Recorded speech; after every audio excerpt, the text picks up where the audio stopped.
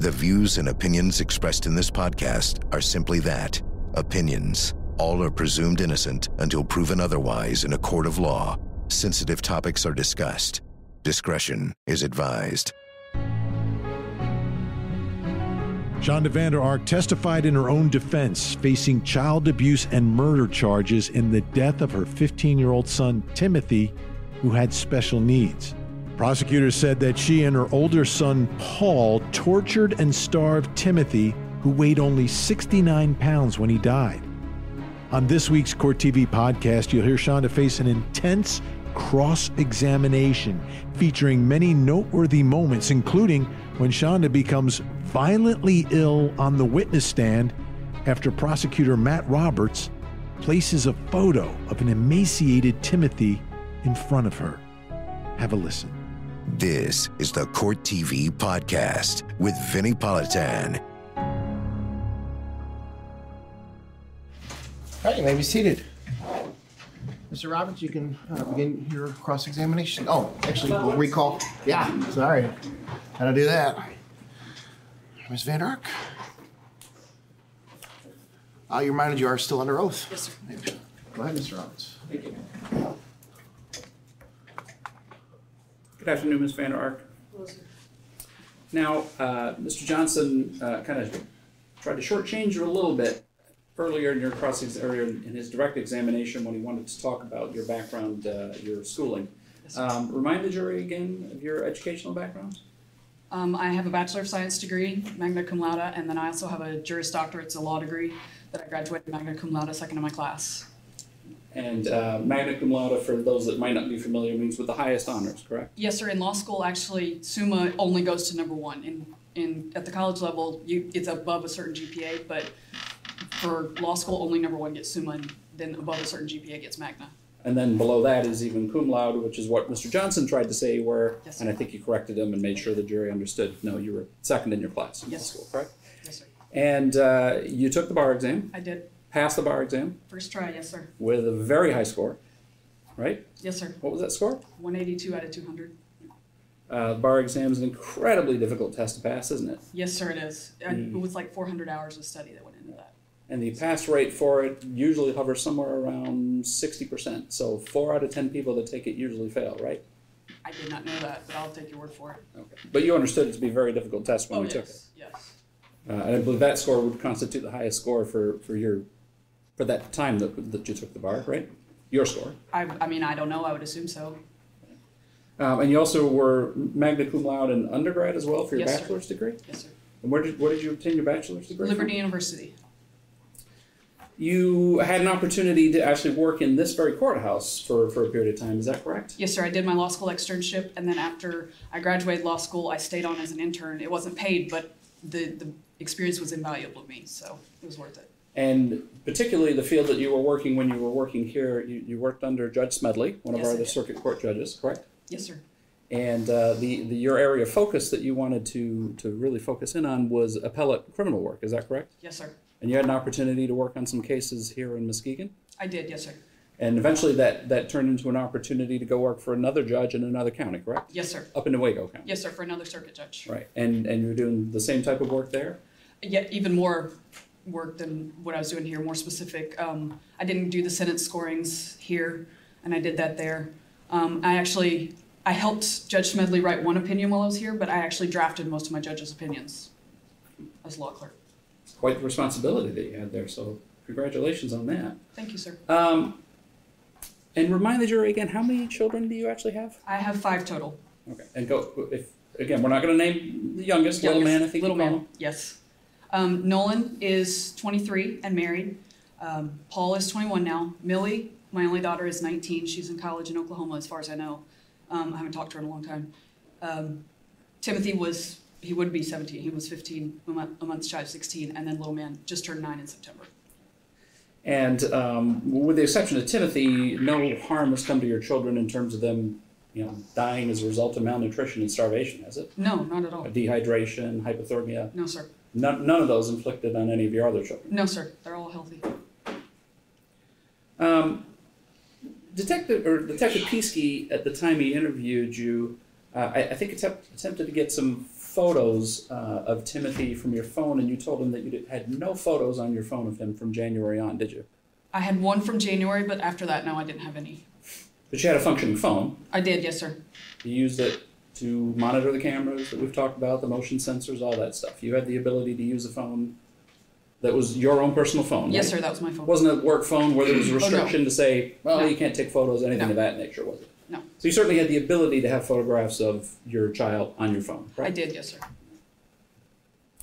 Um, let's talk about some of your health issues because you listed quite uh, quite a few issues that, that you're, in terms of your diagnosis and health issues that you had. Um, I think you said ADHD, um, something called sensory processing disorder, OCD, OCD. Um, tho- those PTSD. PTSD.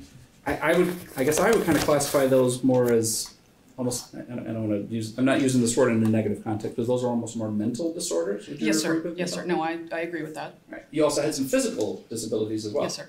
And I, I don't know if Mr. Johnson went into those. So why don't you didn't. tell the jury what your physical disorders are as well? I have um, allergy-induced asthma. I am allergic to almost everything environmental other than animals, every different type of pollen and mold and, and weeds. And then I am a reactive hypoglycemic. Um, I have been my whole life, but it was actually after Timothy was born. It got much worse.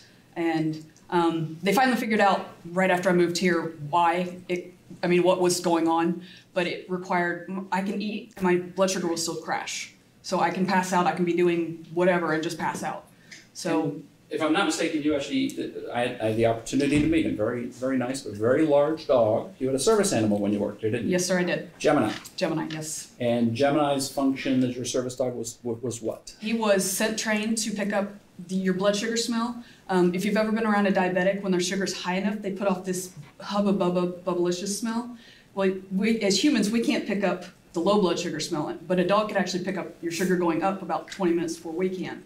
And they can pick up the low blood sugar. So he was scent trained. He would let me know when my sugar was about to crash. So I always carried orange juice with me, and that would keep my blood sugar up for two and a half to three hours guaranteed. And then he was also trained if I ignored his alert, and this did happen at work a couple of times. Um, he was trained. He was off leash. He was trained to go and get somebody to bring them to me to make sure I took care of it so I didn't pass out. Um, it's just remarkable that dogs can do that. It's just It an is. aside. Um, and was Gemini the first service dog you had? on? No, sir. He was my second. Okay, and so you had one before Gemini, did. and then One after. then one after, and that was Sharma. Is that Sharma, right? yes, sir. He was another Great Dane. Another Great Dane. Okay. I like the Um, big dogs. So you are certainly you are keenly aware of your health issues and the things that you need to do to address your health issues, right? At times, I don't take great care of myself. I will admit that. It, and the fallback to that is you have a dog that will It alert does. you if your blood sugar gets low. Yes. Yeah. So you understand that if so you have a backup plan. Yes. I Right? Yeah. So if, if, if I forget to eat or my blood sugar gets too low, then my dog is going to alert me to that. So I've so I've got a backup plan. Yes, right? But you understand the how that works. You understand Yes, the medical need to, to have those things treated. Yes, sir. And the need to have your other issues that we talk about get treatment for those issues as well, don't you? Yes, sir. Um, sensory processing disorder involves basically overstimulation, right? Yes, sir.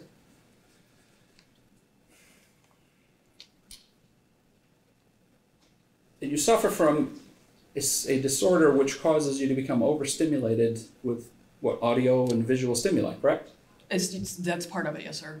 It can be stress related as well. But as a punishment for your child, you decided that hot sauce, audio alarms, cold, cold, we'll get into this later, but cold, at least cold, if not ice baths, and isolation and sensory deprivation were appropriate means of punishment. Is that, is that your testimony? Those Yes, were sir. appropriate forms of punishment? For some of it, yes, sir. You also train service animals, correct? I do. And when you train service animals, um, is, is crate training involved, involved at all? in Yes, crate? it is usually. Right. And, and explain what crate training is to a jury. Um, it depends on what you're using it for. Usually, it's part of house training to begin with. Um, and when the service animal in training is very young, you don't get to take them with you 24 7. Um, so you don't want to leave them unattended a lot of times. Plus, the putting a dog in a crate, a lot of times that's comforting to them. They like the, the, the more enclosed space.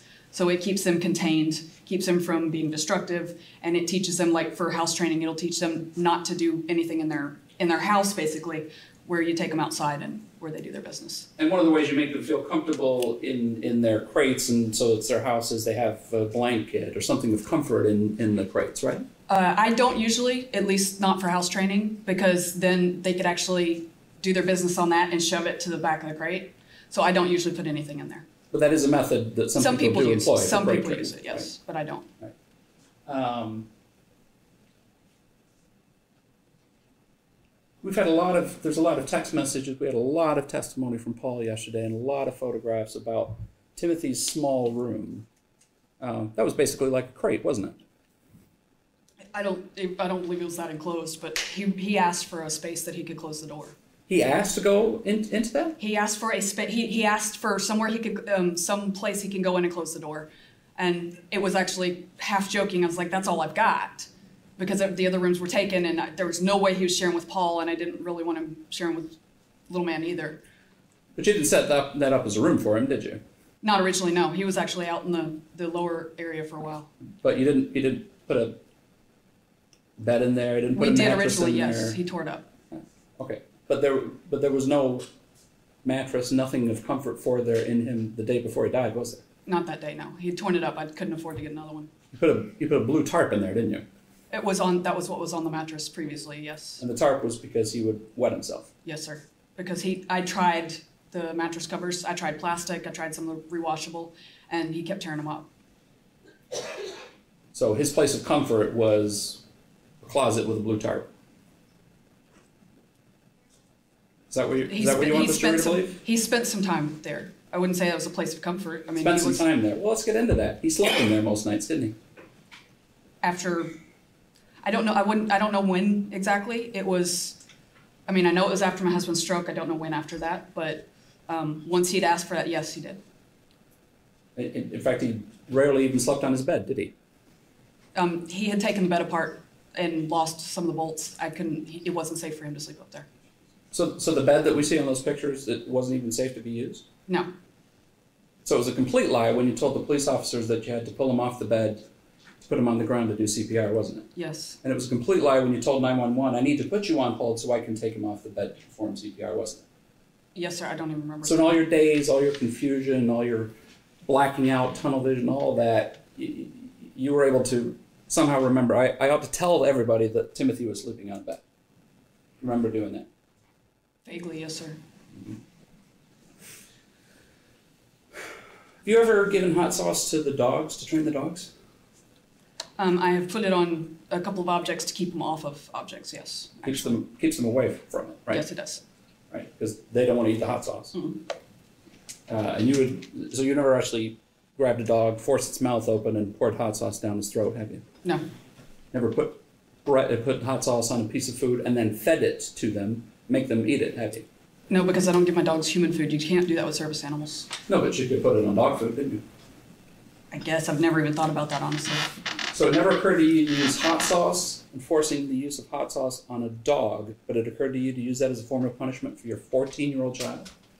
It, it was Paul's idea, but yes, it. I was at my wits' end at the at that time. It was Paul's idea, and you thought, "Yep, that sounds like a good idea. I think we'll do that." Is that what you're saying?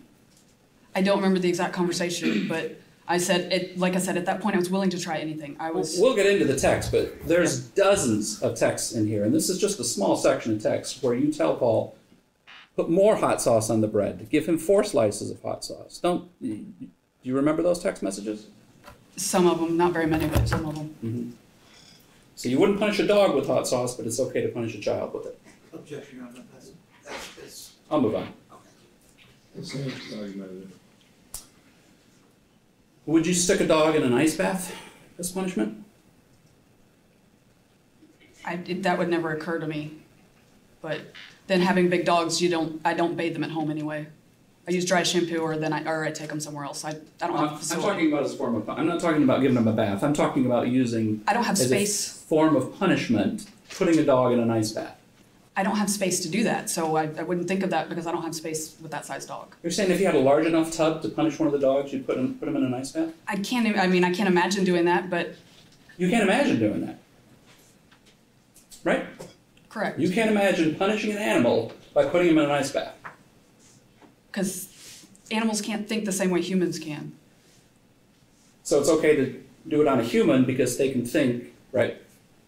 They can they can think better than dogs can, so it's okay to put them in an ice bath. Is that what your testimony is? I don't want to put words in your mouth.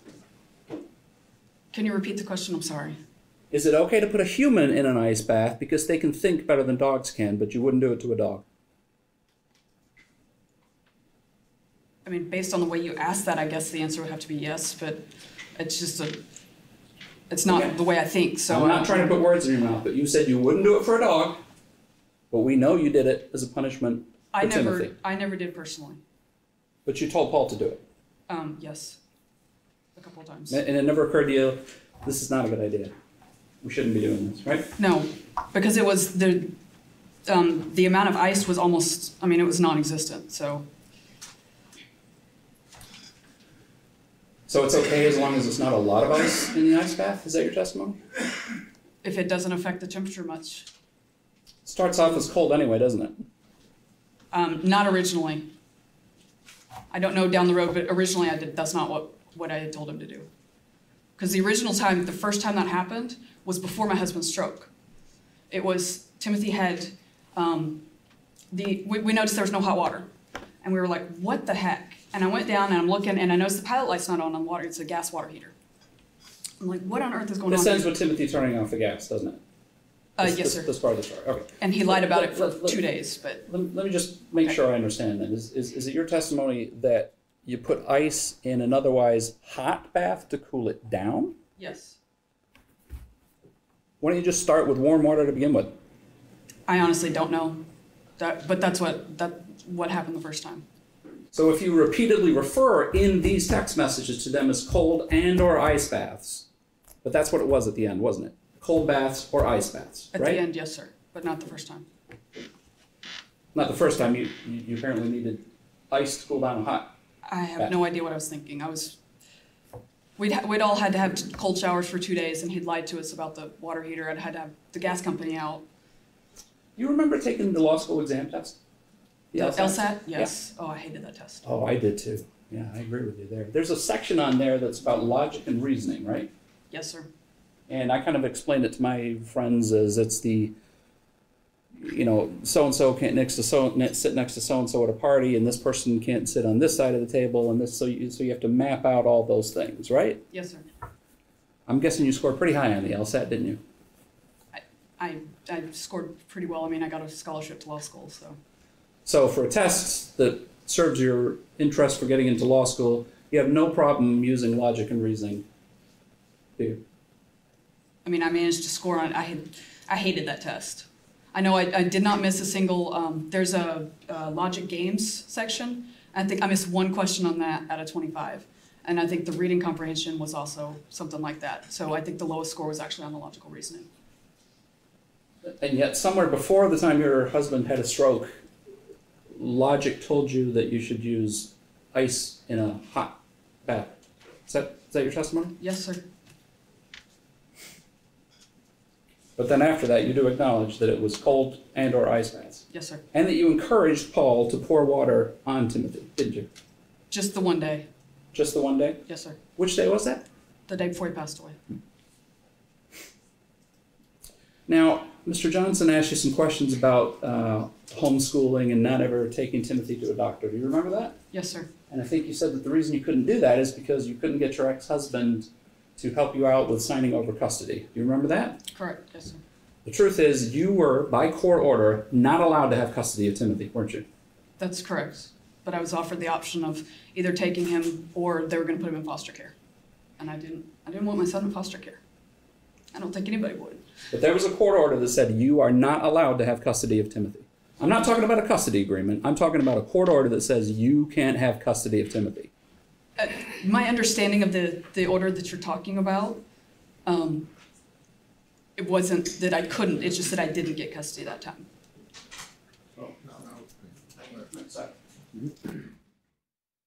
Mr. Weaver, we're going to excuse the jury. Uh, At this time, ladies and gentlemen. Oh, Hold on. All right, we're back on the record. Uh, We're going to go and excuse the jury at this time. Thank you. All right, maybe seated. All right, Mr. Roberts? Thank you, Your Honor. I would uh, submit to the court that uh, the way that those questions were just answered, it was, it was really just a very simple yes or no question. We covered this, and Ms. Maynard was present when we covered this, and the court was very limited in what it wanted me to ask when I asked that question. And she tried to explain it away by saying that she was then offered a chance to take custody or have the child go into foster care. We know that's not true. We, and, and I think that gives me fair game at this point to ask her, isn't it true that you were actually subject to a petition to terminate your parental rights, and the only way that was withdrawn was because you agreed to give up and not have custody of Timothy? Sir Johnson. May I ask my client a question? Did you under, did you hear the conversation we had about the custody situation and, and the judge's ruling on that? Yes, sir. What did that, what did you think that meant? What do you think his ruling on the custody question, whether you could have legal custody of your child meant? What did you think that meant? Could you rephrase that? Because I, I didn't interrupt that conversation, but while y'all are having that conversation, I mean, my understanding of the exit order, the order you're talking about, was not the way it's been characterized. And I mean, from what Mr. Roberts just said, that was not my understanding of, of how that, that case ended. Okay. So, All right, so, Your Honor, my response is this, I, I want that, that conversation because I want the court to, to have an opportunity to determine for herself if my client understood the instruction. Clearly, she did not. Clearly, her, the way she processes information is different, and she did not understand that she was not allowed to go into those other details. Uh, quite frankly, she sat right here and she heard Your Honor say, this is how far we're gonna go. This was clearly a, a yes or no answer. The rest of that, that, that conversation, those, those responses were, were not, were, I, I would agree with, with people, were not in keeping with the court, with the spirit of the court's order. They didn't get a lot of detail, but they clearly weren't in keeping. I would suggest, Your Honor, that my client be, be re-explained the limitations of her conversation on that issue, and that there be a corrective instruction given to the jury. Uh, I, I would disagree that we've gone so far into it. I think the court stopped, stopped us before we got to that point where, where it is opening a door that, that's, that uh, allows evidence in that's more prejudicial than probative. I don't think we're at that point yet. That's my opinion. So I would ask for a, a re-explanation from my client as to how far she can go and answer this question, and a, and a corrective instruction to the jury. Mr. Roberts? She, you can't ring the bell, Judge, just because the witness decided to answer the question how she wanted to answer the question. That's like saying, well, I want to take back the answer now because I don't like what, it, what, what happened when I answered it. That, that's, that's, that's, it's not fair. It's not fair to the prosecution. She's a law student. She's just sat up here and explained how she graduated second in class in law school and passed this bar with a score of 182. She sat through this entire trial. She's been taking notes. She's been actively participating. She's trying to answer the questions the way she wants to to get her point across, plain and simple. And the court's order couldn't have been any more explicit that it was a yes or no question about isn't there a court order prohibiting you from having custody of the kids? I get to come back and explain now why she's sitting here saying that she thinks the order said, well, whenever you want custody back, if you want to take custody or the child goes into foster care, you can do that. All right, well, before I make I'm, I'm, I'm sorry, I didn't cut the court off, I apologize. I, I would just offer the court, I'm prepared for limiting instruction to the jury, that they don't consider this as any type of character evidence or anything of that nature. I think that's perfectly appropriate. But this is, this is a mess of our own making at this point. all right, well, before I make a ruling, uh, I was, didn't hear her exact answer because I was in the middle of trying to look at Mr. Johnson to say maybe we stop this. So before we, uh, before I make a ruling, I want to hear exactly what her answer was. So I'm going to take a recess. I'm going to look at the record and make a finding. So, yep, we're in recess.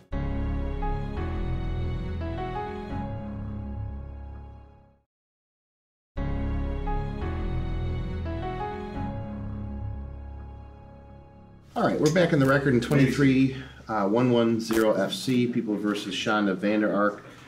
Uh, the, there was an objection before we broke. Uh, it's kind of discussion about opening doors, not opening doors. The parties, excuse me, the attorneys have an opportunity to speak to the court in chambers. Uh, at this time, and I'm just going to summarize our discussion, uh, what the court is going to permit by, I guess, agreement of the parties, or, I mean, if it's not an agreement, uh, okay, I- Mr. Ra- I'm not speaking for you. No, it, we've, I, I think it's fair to say that we've settled on a way to ask the question that I believe everybody, including the defendant, are on the same page. Okay, so essentially the question we're gonna ask is, uh, is it true that the order from Oklahoma prevented you or, or only authorized you to have supervised parenting time of Timothy? Is that correct, Mr. Roberts? That's correct. That That your understanding, Mr. Johnson? It is, Your Honor. Right. Ms. Vander Ark, do you understand the question? Yes, sir. All right, Mr. Jo- or Mr. Roberts, why don't you go ahead and just, I want to make sure, uh, before we bring the jury out, that we make sure that doesn't open any other doors before we don't have to. So go ahead and ask the question. Thank you. Ms. Vander Ark, i- is it true that the last custody order from Oklahoma that involved Timothy indicated you were only to be allowed supervised parenting? Yes, sir. Fair enough. All right. With that, any other thing else before we bring the jury in? Mr. Roberts? No. Mr. Johnson? Yes, Your Honor, prepared to proceed. Okay, please rise. All right, you may be seated. Mr. Roberts, you can continue. Thank you. Uh, Just to kind of put a bow on this and clarify things, Ms. Vander Ark, is it true that the last custody order from Oklahoma that involved Timothy indicated that you are only to be allowed supervised parenting time? That is correct. Now, uh, Mr. Johnson was uh, talked to you about the fact that after Adam had his stroke tragically in January and was out of the home, that that, that was a was a significant financial hit for you. Is that fair to say? Yes, sir. And uh, as a result of that, you didn't have a lot of income coming in. Um, were you working in Newaygo at that time? I was, yes, sir. Um, so you, the, when you worked here, it was not a paid internship. You were working in Newaygo for paid internship at that time. Is that correct? For a paid clerkship, yes, sir. Right. clerkship. And then what were your other um, what were your other sources of income at that time? Um, which time? Well, in January, right after the stroke. Right after the stroke. Um, the rental income that I received from my brother from Oklahoma, and then I had, I was down to one dog training client. Um, now, you- you're not suggesting to this jury that you couldn't afford to have food for your kids, are you? No, sir. In fact, you're, we've seen the pictures, and you, you don't need me to show you the pictures of your freezer, your Oh, no. refrigerator, your pantry, all pretty well stocked with food. Wouldn't you agree? Yes, sir. So you, the, so, so there certainly was a financial ability for you to provide for your children, at least in a food sense, correct? Yes, sir. Bought food first. And you're you're a highly intelligent woman, and I'm sure you're aware of multiple resources available in the community if that ever became an issue, right? Yes, sir. United Way, food pantries, anything of that nature, but, but you never felt the need to reach out to any of those resources, did you? No, sir, because we had groceries covered. Um, you talked about Mr. Johnson asked you about the motion sensors, and I'm not sure we got like any real sense of clarity about the motion sensors. Um, when we're talking about motion sensors, we're talking about ones that would um, not only go off if, if there was motion, that's what a motion sensor is, obviously, but would give some type of audio alarm, right? Uh, some of them did, yes, sir. And um, Timothy had very sensitive hearing, didn't he? I was not aware of that, no, sir. That's when Paul said that yesterday, that puzzled me. You, you didn't know about that? You didn't know he had surgery to put tubes in his ears? I was there for the surgery for his tubes, but no, I mean, it was, at least my experience with Timothy was half the time he didn't hear what you were saying. So, Um, did you know that he found it d- discomforting when that when those noises happened? Did you know that that was, you know, for lack of a better way of putting it, that was that was a punishment too for those noises to be going on? no, sir, I did not. Um, um, Timothy was autistic, right? He was on the autism Yes, sir, he was spectrum. on the spectrum. Loud noises, disturbances, things like that. Those are troubling for folks with autism, aren't they? For some of them, but he never, I mean, he, he liked to listen to his tablet extremely loud. Um, and I remember, because little man, sorry, I'm trying not to say his name. Yeah. Um, you know, when we'd have thunderstorms, it sometimes it would freak him out, and it didn't. Things like that didn't bother Timothy at all. And Timothy sat with me. Okay, go ahead and judge me or laugh at me, but when I, before the PTSD, I used to watch when I watched college football. I would scream at the television every play, offense and defense. That's just who I am. And um, and Timothy was right there with me, hollering at the TV. So so the the alarms didn't bother him at all. I mean, I wouldn't say that. I mean, they they bother people, probably some, everybody, but I but they didn't. It wasn't. He wasn't overly sensitive to it. Right, because it begs the question: if the alarms don't bother him, what's the point in having them, right? Yes, sir. And they were there as part a a disincentive for him to do the things he wasn't supposed to do. It was to let us know he was doing it too. That way, we knew what was going on. But it was it was supposed to also be. You're Yes. not supposed to be doing this, and we know when you're you're going to be doing Yes, this, right? It was. It was so he knew we would be notified. And the, the doing this that we're talking about is coming out of the basement area of the home, right? Coming upstairs in the middle of the night, yes, sir. Coming upstairs in the middle of the night? Yes, sir. So, so these would only be active at night? I only turned them on at night, yes, sir. So there's no text messages in there about turning on the motion sensor during the day so we can't come upstairs? I, I mean, I don't recall it, but But you would, i- if those are in there, you would agree with me then that you were using the motion sensors to keep him downstairs even during the day, right? it, I mean, if it happened occasionally, I'm Sure. just, Do you remember the text exchange about turning off the alarms so that he can go to the bathroom and then turning the alarms back on after he's done going to the bathroom? Do you remember those? that was read the other day, vaguely, yes, sir. Well, I- I'm sure you remember them from being read the other day. Do you Yeah. remember sending those text messages? No, sir. No memory of those text messages. No, sir. And you're talking, there's, are you talking motion sensor or there was, there was I'm one? talking motion sensor right now. Okay, there, motion sensors are, are still, that's not, that, it- that's different. You're talking about a, a, it was actually for a bike alarm, like for somebody stealing a bike, I guess it was. And you, that was the one that, that was, that you were referring to. The motion sensors that we've been talking about are posted in the house and those don't get turned, those didn't need to be turned on or I off. see. So the motion sensor with the alarm was the one that was outside. Is that what you're saying? The motion sensor with the alarm, the, the one that makes noise, was not one that was in the house. No, they were up, up on the stairs. There was, there's a personal one that you could attach to whatever you wanted to. Right. There was one of those, and then there were several on the stairs. I see. Okay. And the purpose of the one on the stairs one was to make sure he didn't come upstairs. In the middle of the night, yes, sir. Right. And the ones to and you actually the ones that you could attach to a thing, you actually attached to a person, didn't you? Occasionally, yes, sir.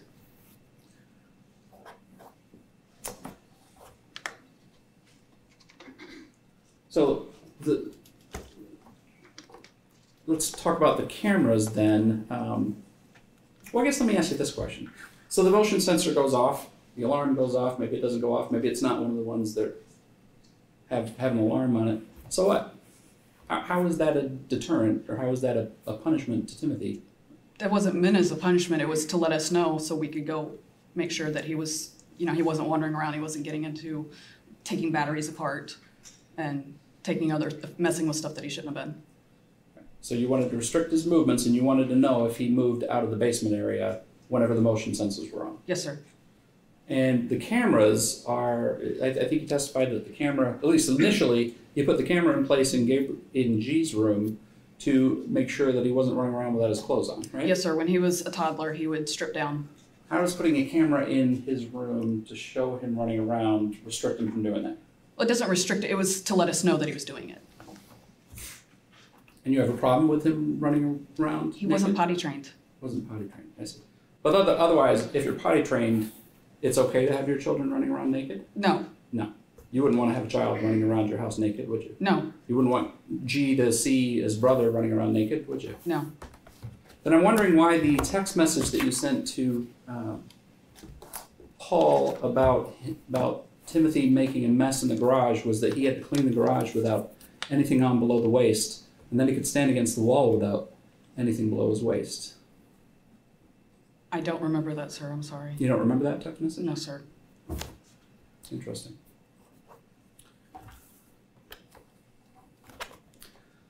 Take a look at, this is from the larger text messages. This is all the text messages between you and Paul. It's a few hundred, if not thousand pages. Uh, take a look at, this is page 5783 if Mr. Johnson wants to reference. The tech, this, the blue is your text messages. Can you read that for the jury, please?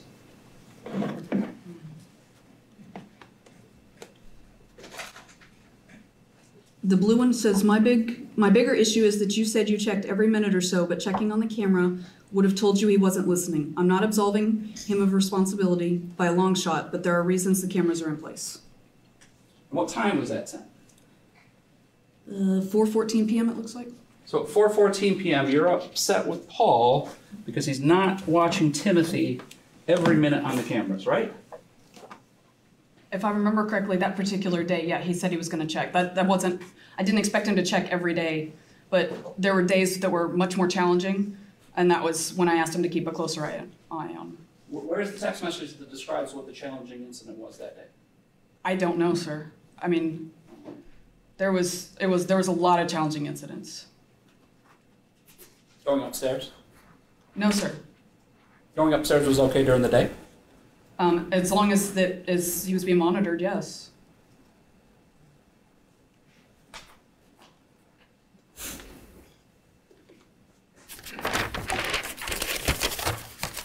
You talked about we, we, talked about the autism already. You talked about a number of other issues that um, that Timothy had: bipolar, ADHD, were there some other ones? or was it Sensory just processing disorder. Sensory process. So he had the same disorder that you did. Yes, the sir. Sensory processing disorder.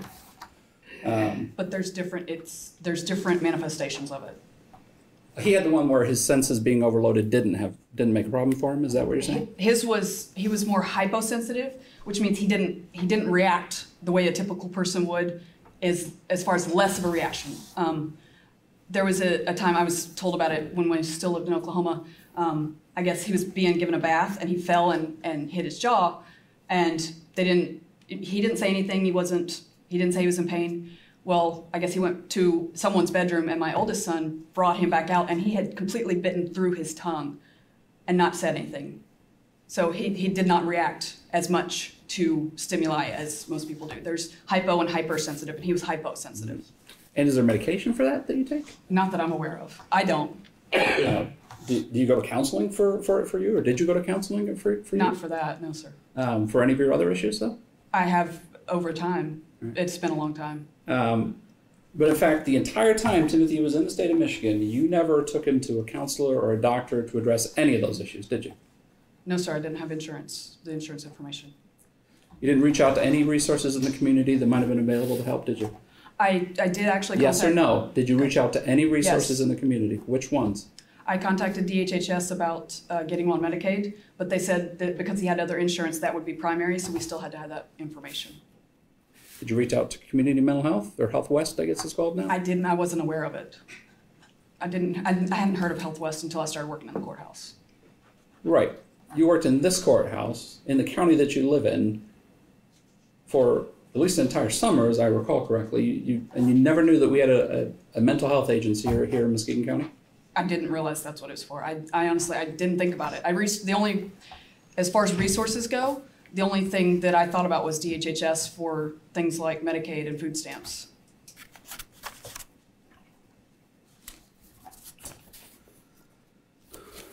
Mr. Johnson asked you about the alarms on the doors, and you your your response to him was that the alarms went on the doors about three weeks before Timothy passed away. Is that correct? Somewhere in there, I was approximating Somewhere it. in there. Okay. You can look up the Amazon history on my phone. Well, I'll do one better than that. This is page 3932 of the text messages from you. Could you go ahead and read that exchange for the jury and the date, please? Uh, did he say miraculously? No, I was, This is Paul's response now, right? yes, no, I was emphasizing because I turned on the alarm, yet he slipped past. Um, That's not good. We need to put up the other two alarms tonight later on. Hmm. That's the motion sensors. But you referred to them as alarms. Yes, sir, I did. Right. And that was That's in what we called them. That was February. February. That was motion sensors. months before he died. Yes, sir. You just mixed up what an alarm and what a motion sensor is? Yes, sir. That's what I, ca- I called them alarms. I didn't call them motion sensors most of the time. Mm-hmm. This one's a little bit longer exchange, but if you could read 3996 for me, please. Just this page. Nope, the whole thing that's stapled, please. Is it snowing at home currently? KK, Timothy apparently ate my Pop Tarts a few days back. Not anymore. Uh, are you kidding me? When did he do that? He said he doesn't know the exact day. Um, that's a bunch of BS, and how did he do it? Did he sneak down to the bathroom? He says it was before we had the other alarms. Um, I said, that's not true because we've had those for over a week now. And you had Pop Tarts in that box as of this past weekend or Friday at the very latest. That's still the motion sensors. Okay, That's so what I call again, them. you refer to the motion sensors as Yes, alarms sir. there. And you're upset at that point because Timothy's eating some Pop-Tarts. Is that my understanding of these text messages?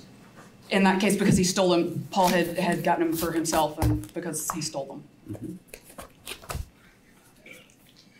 Mm-hmm. And that date, uh, I don't know if we read it or not, but you would agree with me that, it was, oh, it's on Valentine's Day, February 14th, 2022, correct? Yes, sir. Okay. Now, why don't you take a look at 3702?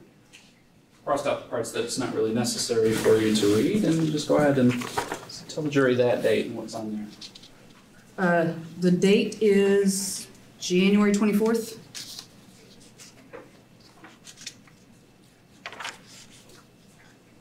Okay. Okay. Uh, did Timothy have to wash his sheets? Question mark. Yes. I said, ugh, okay, pretty sure that is him pouting over the extra camera and motion sensors. So, and that was in January of 2022, correct? Yes, So sir. no problem referring to it to a motion sensor in January of 2022, but suddenly, come February, you mix up what an alarm and what a motion detector are. Yes, sir. Correct? Yes, sir. Like I said, you can check your Amazon history. You don't want to revise your testimony about when it was that you started using alarms on the doors? No, sir, because it's, it's in my Amazon history when I purchased those.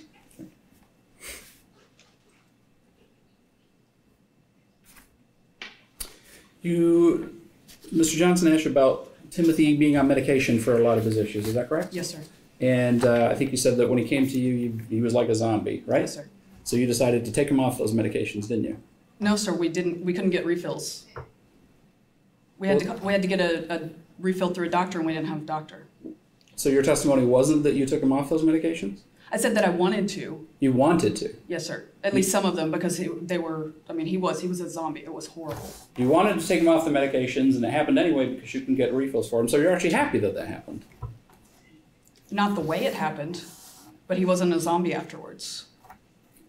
But you definitely did not consult with the doctor before you did that. No, sir, because we ran out.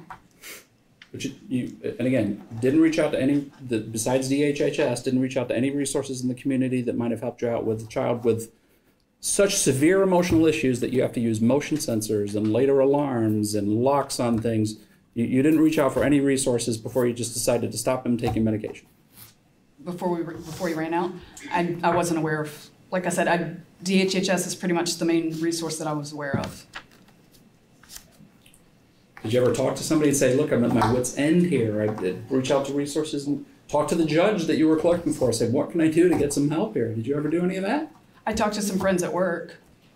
And they But I didn't ask. up with an idea. I didn't ask for resources. I just vented to them, and nobody suggested anything. I didn't ask. Um, it's rather unusual the way this, this question was answered by you. She said there was one time that your mother-in-law saw Timothy. Yes, sir. One time.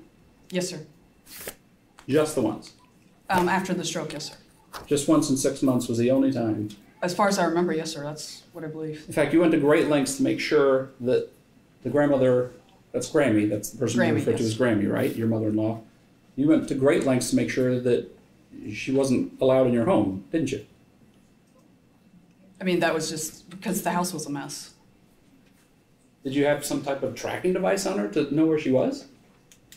Um, she, we had her phone under our, our phone plan, so I could look up on, find my iPhone. Because usually when she was, that way, um, Paul wanted to know when she was coming to get Gabriel. Oh, gee, sorry.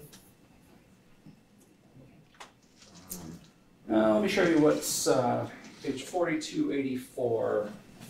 This is a lengthy exchange, but go ahead and read that for the jury. It's from, I believe, March 28th. Uh, soot. Hmm. Uh, stupid thing writing on my watch. That should have said good. Uh, Grammy left home about 10 minutes ago. Hopefully, she will not beat me there this time, but please have him ready to go. And please keep a very close eye on your messages. I will track her on the app as I head home.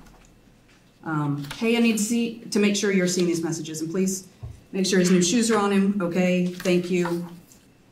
Um, and do not, do not, do not let Grammy inside. Exclamation point, Yes, sir. right? Okay, uh, she will probably beat me there, but not by more than a couple minutes. You get clothes on too, please. Okay, uh, go ahead and take Gabriel outside and sit him down to stand up against the wall downstairs. You can, it says create the puppy too, but, um, OL and then okay. She should be pulling up pretty soon. Okay, I got it. I'm glad you got it, but you better be outside. Uh, he is outside, do you wanna say goodbye? That's Paul's response back to you, right? Yes. And I said, yes, I do. I'll be there in just a minute. Headed to the car now. How's it going there? He said, good, already taped the coat rack. I think you can stop there. Um, so you're tracking her movements on your phone as you're driving home At stoplights, yes, sir. because you're worried that she's going to see a messy house. Yes, sir. And the solution to that is put Gabriel outside when, so that he's outside when she gets there, right? Yes, sir. That was, I'm sorry, I misspoke. That was March 8th, right? Yes, So rather than his grandmother come into the house, into the, even the entryway of the house, in the middle of winter, not middle of winter, on March 8th, your solution was put Gabriel outside, make sure she doesn't come in. Do not, do not, do not let her in the house. Paul was outside with him. Exclamation point. I wouldn't, and I've never put him outside by himself. Paul was outside with him. 4044.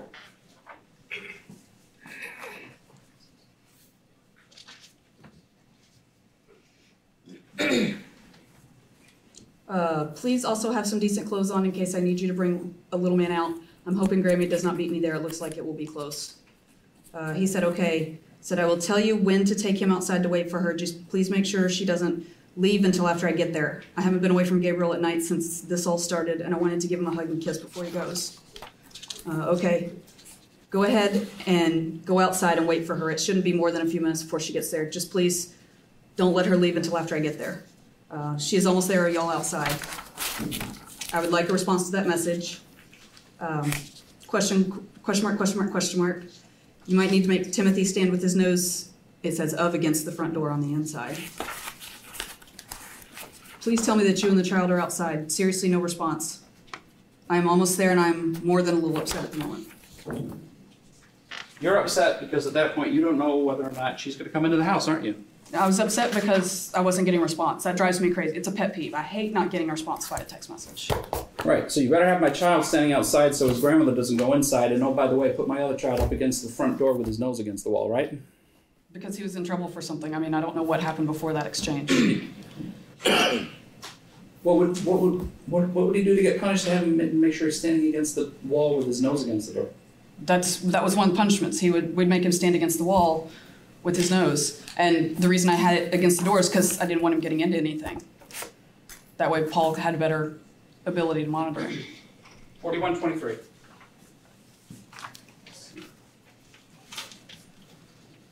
Remember, we're not saying your younger son's name. Yes. When you get home, please make sure G's face is not a mess and he isn't filthy dirty. And then please get socks and shoes on him and his headphone case in his backpack. And maybe his blue headphones as well. Okay. Uh, also, please watch him, but please have Timothy get those two pumpkins off the front porch and into the trash can before Grammy gets there. Grammy isn't supposed to get there till 6:15, but she was early last time, so she might do that again. I hope not. Uh, Remember to bang loudly on the door three times, please. I will let Timothy know to listen from here, for you here in the next few minutes. And Grammy may just beat me there again, which doesn't make me happy, but anyway. If she does, do not let her in the house this time. Okay.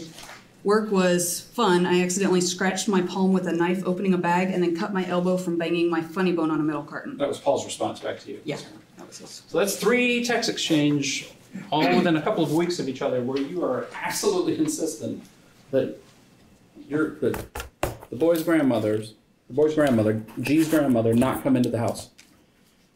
Right? Yes, sir. To the point where you're tracking her phone while you're driving home from work. Right? Yes, sir. I did. I only tracked it when I was stopped. I wouldn't do that while I was driving, but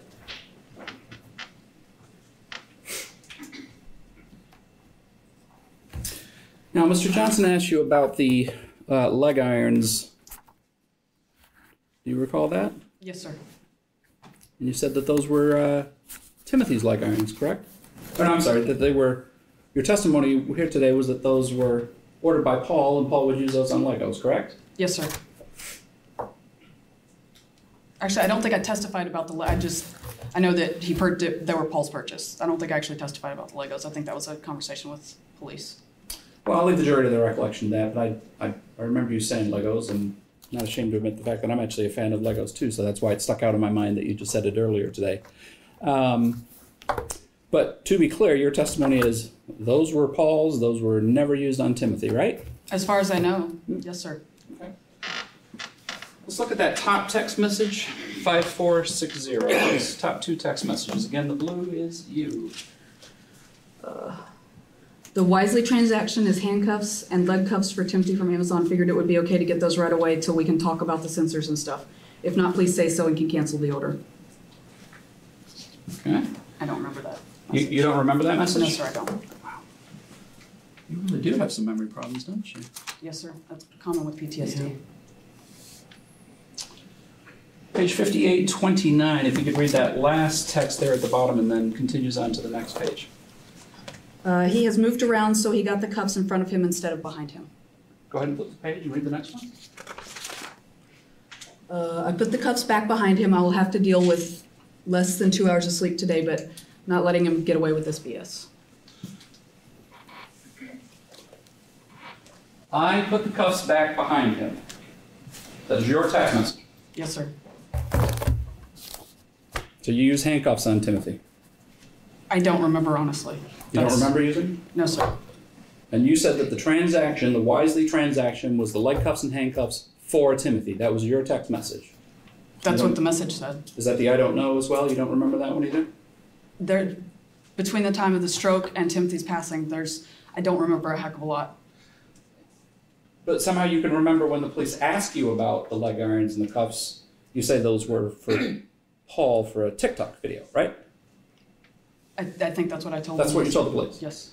So you don't remember things, but you have the wherewithal to make it look like, no, no, those don't involve Timothy. Those, those were Paul's. It's pretty self-serving, isn't it? Objection, Argumentative. I'll withdraw the last part. You had the wherewithal to say that the leg, the, the cuffs that they found belonged to Paul when your text message indicates they were actually for Timothy, right? Apparently, yes, sir. Mr. Johnson asked you about the zip ties. Remember? Yes, sir. Do you ever use zip ties on Timothy? Uh, to attach the, um, the personal sensor. Okay. And then I, I, I remember hearing about a conversation about them, yes, on text. I don't remember it, but I, I remember hearing about it when it was read. You remember hearing about a conversation. Did, did that did, did that make you stop and go, oh my oh my goodness, we can't be putting Timothy in, in zip ties? Yes, I mean, that's what I thought here. Yes, Yeah. sir. Sure. Okay. Well, then this, uh, if you care to read the bottom of forty-two twenty-seven, that's Paul's message to you. Uh, oh, this is from earlier. He just won't listen or does something I didn't tell him he could. He just tried claiming his zip cuffs were too tight when I didn't even tighten them to where there's no room for his wrists. This is your response now. Yeah, leave them as they are and I will check them when I get home and you can tell him that. And if he lied about that, he gets himself in even more trouble. You want me to keep going? No, that's fine. Leave them as they are, and I will check them when I get home. You want to revise your earlier answer to the question when you said that you would have said, "Oh no, don't use zip cuffs on Timothy." I don't recall that, sir. I'm sorry. Don't recall that either. huh? No, sir. Okay. Um, you, you seem to be having a lot of difficulty in when it comes to the text messages that are talking about the things that you either did or want done to Timothy. Um, is, is that where the, the, the memory issues kick in for you? It's most of what happened. It's not just text messages. It's, and it doesn't just involve him. It's, I mean, the events of the whole six months are, So if, if so, all the other text messages that are just about you know, hey, how's your day going, or get your bike tire fixed, all those types of things, those are all clarity moments, right? So you, you don't have I any don't issues with. I don't know if I remember, I mean, if you showed me, I don't know if I'd remember them or not, honestly. That's, we sent a lot of text messages. No, but I'm, what, what I guess that was a clumsy way of asking that question. You're certainly capable of engaging in a conversation with Paul that's not about anything for Timothy, right? I mean, I would assume so. I don't, I mean, as far as memory goes, my, my memory of those is not. Um, well, let me just we'll we'll just see what your explanation is for this. So we're this is 5785. This is June 21st of 2022. This is a week or so after that picture, and we'll get to the picture in a minute that you say that you never saw. Go ahead and read your text message to Paul. Uh, four with hot sauce that he has to eat, and he has has allowed another four without. It says house sauce, but he has to do the hot sauce one first, and then set a timer for thirty minutes before you can eat the others. What time is that set? Uh, eight oh five p.m. To the to the second, please. Uh, eighteen. Okay. What's your next text message? Um, eight oh five forty-seven. 30, Um, 30 seconds or so later. Yes, sir. I was using Siri because I was driving. Yeah. You could tell by the issues with the text message. Sure. I found enough in change to get Gabriel some chicken nuggets and French fries from Burger King. It's like three bucks total, so we will be home as soon as I do that. You remember sending the hot sauce text? I don't remember sending either one of these texts, sir. Don't remember sending either one of those? No, sir, I don't. But you can process that Timothy needs to eat some bread with hot sauce on it but you scrounged up enough change to make sure that G gets some chicken nuggets and fries We were within on- 30 seconds. Processing that all in your mind, sending it all out in a text message, right? Apparently, yes, sir. Mm-hmm. Like I said, he is serious.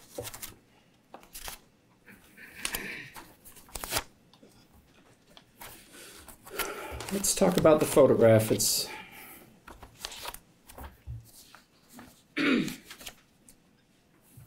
People's 36A. Uh, Mr. Johnson asked you about it, so if you remembered the text exchange, including the photograph of Timothy, right? Yes, sir. And oh, I- the jury's seen that a couple of times. I don't think they need to see it again right now. Let's go ahead and read the exchange there, starting with the message that Paul sent to you with the photograph. Um, Timothy tried to sneak food. I yelled at him, and then he became momentarily unresponsive. And then I saw this. He's bone thin, Mama. I think. I think we need to actually feed him. Okay, and what's your response to that? I said, Kay, give him bread, please.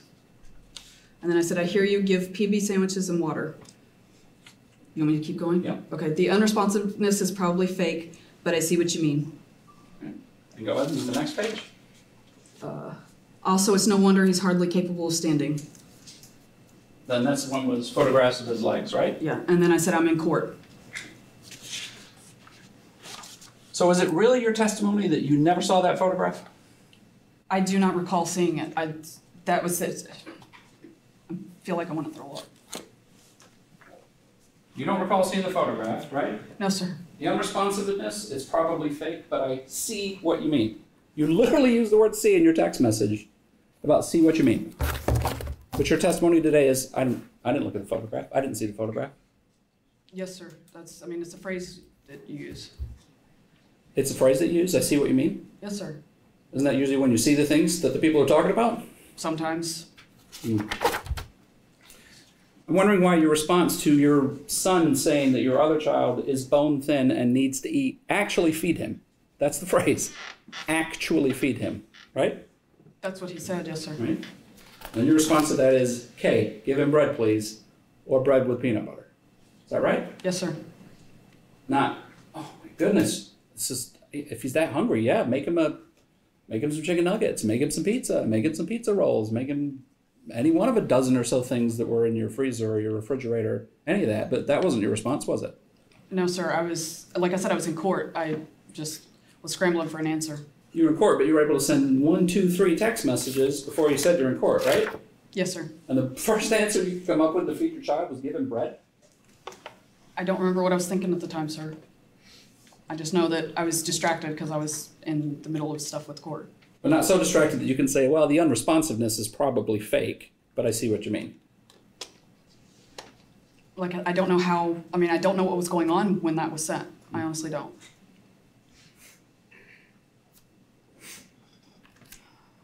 Mr. Johnson asked you about the hot sauce that you uh, ordered, and we saw the bottles of hot sauce. Those weren't. Those weren't just ordered from Meijer, were they? No, You had to special order those, didn't you? on Amazon, yes, sir.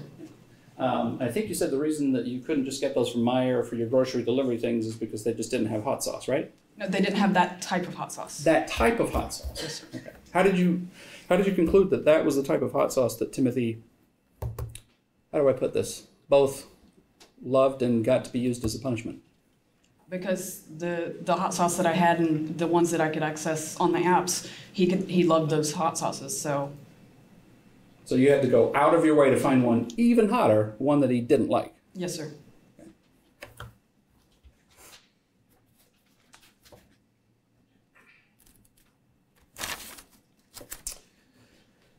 And the, the hot sauce started as Paul's idea? Yes, sir. How do you come up with the idea to do hot sauce if Timothy likes hot sauce? Um, well, he said that, that if, he, I guess he'd read something, if I remember correctly. I don't, I mean, this, the conversation's not, I mean, it's vague at best, but, um, from what I remember, he'd said something about, he'd read something about something really hot, some new something. He's like, oh, this might be an idea to do it with a, a sauce that he doesn't like. So you, you tested out other hot sauces before you got to that point, and because he didn't react, you figured let's just keep increasing the heat. Is that it? No, that, I mean, I don't remember which, I mean, how, how many I ordered, but I just went with something that was, that was super, that was hotter than what I could get. So you try to punish him with a lower hot sauce, but he, he doesn't respond. So then you increase how hot it is, I right? didn't try with the lower because he, I already knew he liked the lower hot sauce.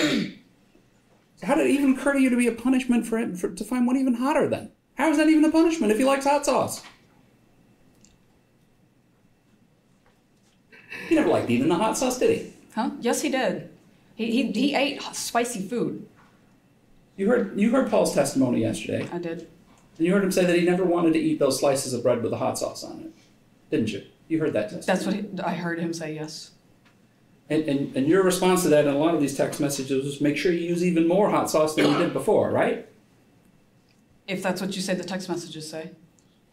Well, you just read the one that said he can have four, and then he can wait 30 minutes, and then he can have some without hot sauce on it. You read that one, right? Yes, sir. But again, you don't remember sending that text message. No, sir. But aliens didn't take a hold of your phone and take over your body or anything like that, did they? No, sir. No. Mr. Johnson didn't ask you, so I'll just go ahead and ask you. You used a number of other physical methods of punishing Timothy, didn't you? Define number. Yeah, okay, fine. Two. You made him do wall sits. Uh, one time, and that was Paul's suggestion as well. He said, "Oh, this this used to drive me crazy." Um, I guess he said that Paul said that his dad and stepmom had used that as a punishment with him, and so we decided to give it a try. And Timothy could have cared less. He what? He could not have cared less. No, So, so being made to stand as if there's no support under your legs, he was he was okay to do that. I mean, How I- long did you have him do it for? A couple of minutes. A couple of minutes. Yes, sir. When was that? I don't remember honestly. And running the stairs. Yes, sir. You had to do that a lot, didn't you? I wouldn't say a lot. I, it was some. In fact, there was one. There's one text exchange in here where you talk about make sure that he does it a lot, even if it's raining and cold outside, right? That's what the text says. Yes, sir. And Paul talks about doing it chasing style at one point, where he follow he chases him up and down the stairs, right? Yes, sir. And the stairs we're talking about are outside. Yes, sir. They're not inside. No, they're out back. So cold, rainy. Yep, go go run stairs outside. What what did he? Do, what was the awful crime he had done to warrant doing that? I don't remember, sir.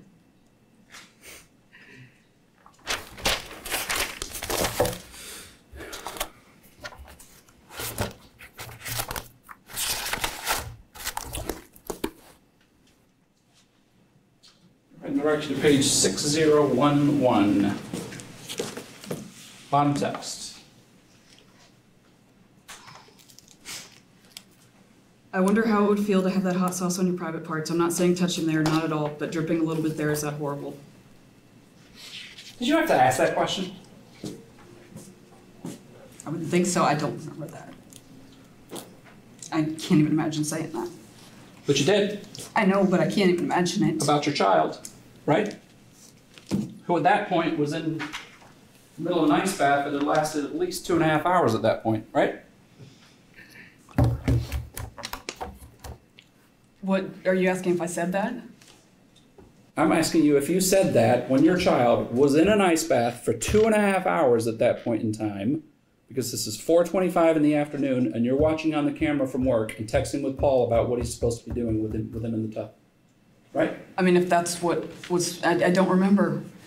I, if that's what it says, I'm not arguing that. I'm not trying to argue that. I'm just saying I don't know. It just popped in your head today. Yeah, I wonder what hot sauce on your private parts would be like. That- I have no idea where it came from. I have idea no idea. Did you ever try that hot sauce? No, I don't like food as spicy as Timothy. Okay. About the hottest I can handle is um, jalapeno cheddar Cheetos. I'm, I'm with you there. I can't handle hot sauce either.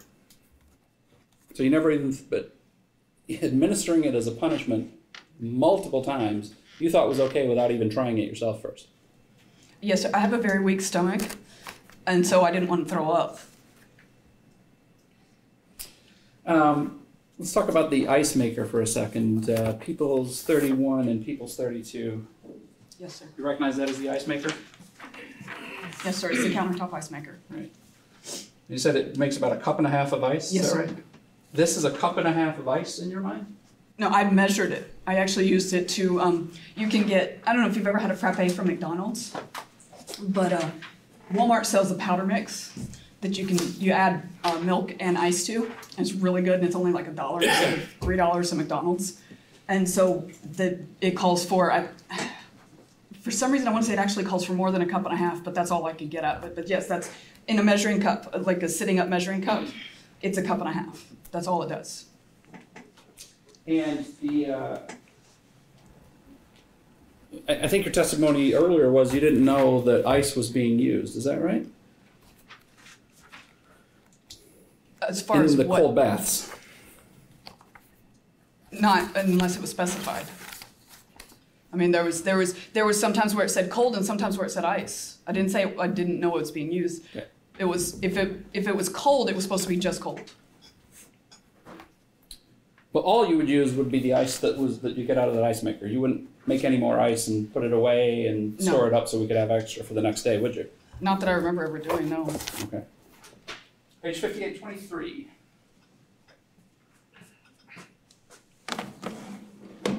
Read that. Those are all your text messages. Um, oh yeah, I know, but I wasn't nice tonight either. Made me feel horrible. But no way was he getting away with that crap. Um, let him know that if he tries to sleep at all, he'll get another ice bath sometime before you leave for work, and another when I get home. Um, and I said, might want to toss that the ice that is made into some Ziploc bags in the freezer tomorrow for if we need a bunch more. You want to change your earlier answer? No, because we never did it. Not that I, I mean, you can ask Paul, you can recall him, but I don't remember ever tossing it. But your suggestion to him was, hey, we need to be ready to make more ice and using the ice baths, right? That's what the text message said, but we never saved the ice. So that was your intention was to have a backup plan if you needed to have more ice, right? That's what the text says. And that was Mar- that was June 27th, or excuse, yes, June 27th. That was about a week before Timothy died, right? Yes, sir. And that's about two weeks after you were sent the text message with the picture that you didn't see. Yes, sir. Mr. Roberts? Yes, Judge. Sidebar, please. Sure. Uh, ladies and gentlemen, as much as I, I always, I used to do this in private practice, it was always tough to take breaks during examination, but as much as I hate to do it, uh, I think it's a good time for a break right now. We've gone uh, over an hour and 45 minutes, so we're going to take a 15, eh, a little bit shorter than 15 minute break, and uh, come back at 3:30. Treat one of the exhibits. Oh, thank you. All right. So we'll see you back in about 15 minutes. Please rise.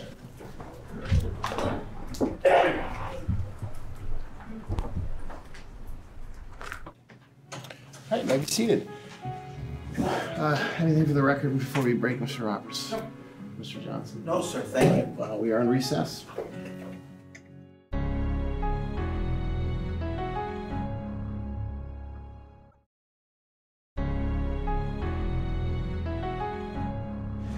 We're back on the record in 23110 FC, People versus Shanda Vander Ark. This jury is secure in the jury room. Anything before we bring them out, Mr. Roberts?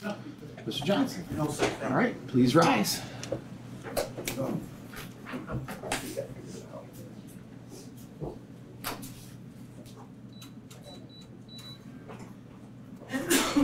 Bless you.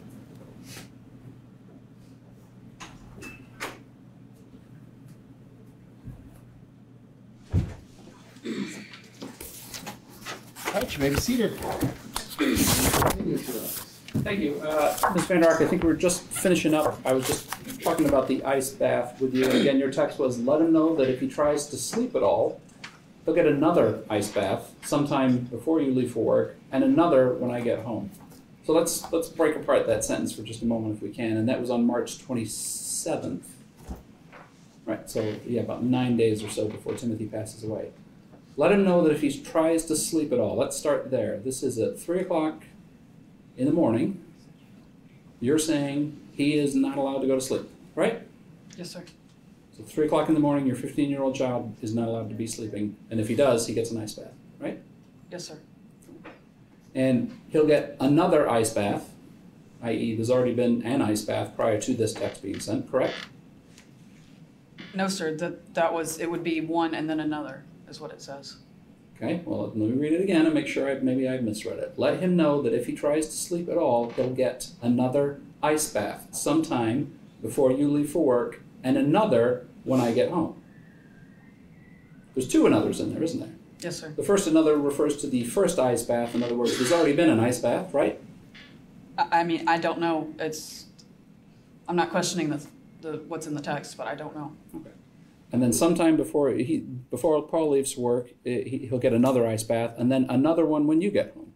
So two ice baths, in addition to the one he's already had, right? If that's what it says. And that's for the crime of sleeping. I don't know what the, uh, the original, whatever happened before that. But you know what it was t- to get him to not do another one, right? Yes, sir. Let him know that That's if he it tries to sleep at all, That's what it says, yes, sir.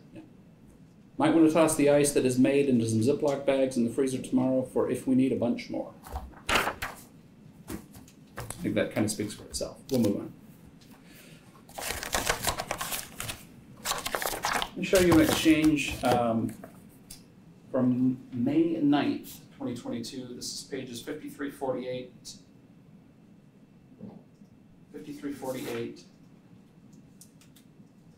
sorry, 5347. Oh, these are backwards. Hold on. Give me just a second. I apologize.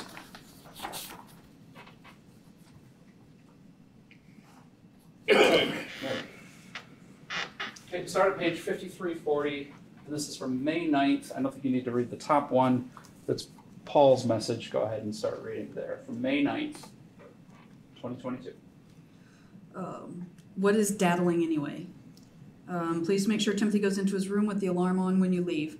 I should be home not too long after you go, as long as you, as long as you before you go.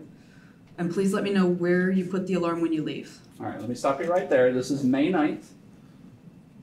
And again, you're referring to an alarm, correct? Yes, sir. Okay, This Go is, okay. go ahead. Because I know what Just- that's referring just to. Let's keep going. So, KK, thanks. Uh, YW, you're welcome. Um, I logged out of that for you, but you will not be allowed to have any devices tomorrow before work unless you manage, unless you manages to get everything done I assign to M standards, which will not be easy.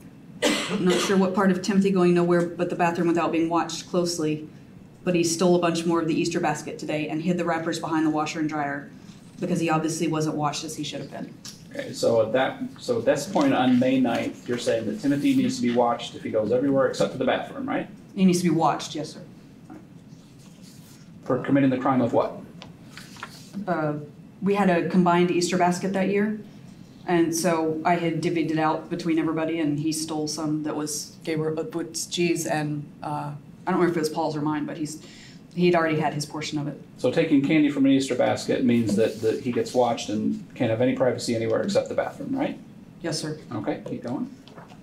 Um, then I, it was a star. What part of watching Timothy closely was unclear. Sheesh. Let me stop you right there. What Okay. part of watching Timothy was unclear? Why was it that you believed at that point that Paul wasn't watching Timothy? I was correcting, it's the little star. I was correcting what, um, where was it?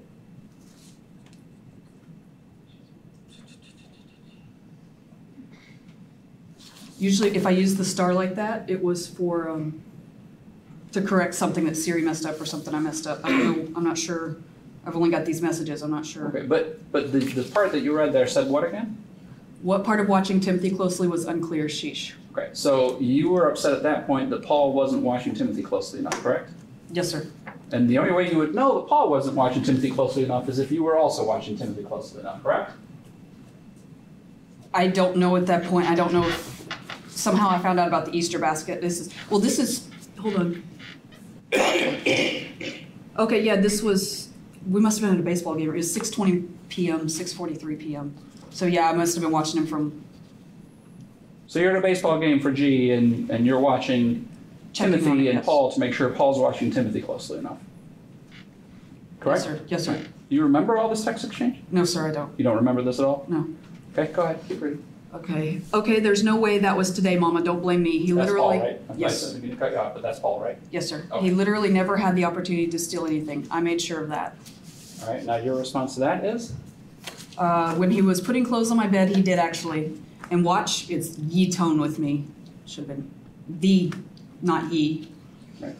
Um, So you knew that Timothy had done something when he was putting clothes away, yes, sir.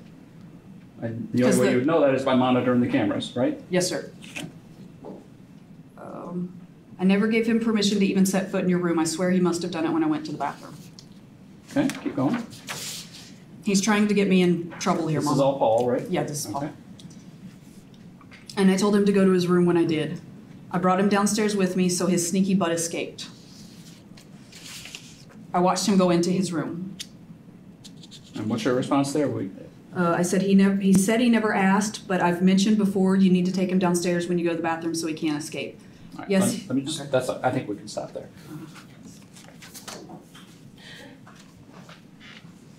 You don't remember sending these text messages? No, sir. No memory from this time period No, sir. because of all the blackouts, all the tunnel vision, all the PTSD, right? Yes, sir. Okay. He said he never asked, but I've mentioned before you need to take him downstairs when you go to the bathroom so he can't escape. That was what you said, though, right? Yes, sir. You actually used the phrase escape in relation to your 15 year old child, Apparently, yes, sir. as if he was some prisoner. No, sir. Well, who else needs to escape but a prisoner? I'll withdraw that. May 9th, right? I. Yeah, that's what it said. You don't remember that at all. No, sir. When was Mother's Day 2022? I don't remember honestly. If I told you it was May 8th, would you have reason to doubt that? No, sir. Not at all. I believe you.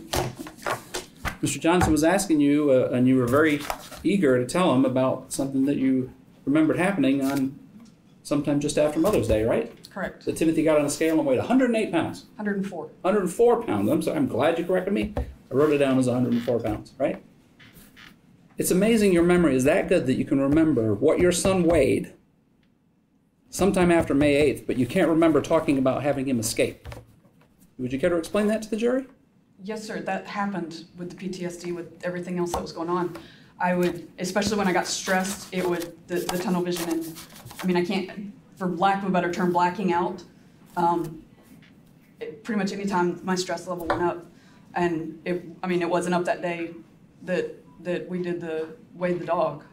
So you can't remember all of these text messages about the ice baths and the hot sauce and the zip ties and the handcuffs, but you remember over 18 months ago that your son weighed 108 pounds sometime after Mother's Day of 2022, correct? 104, yes. Sir. 104. You, Well, it you was, got it down. You're right. He made 104 pounds. well. He made a, a comment that just things like that will stick out to me sometimes.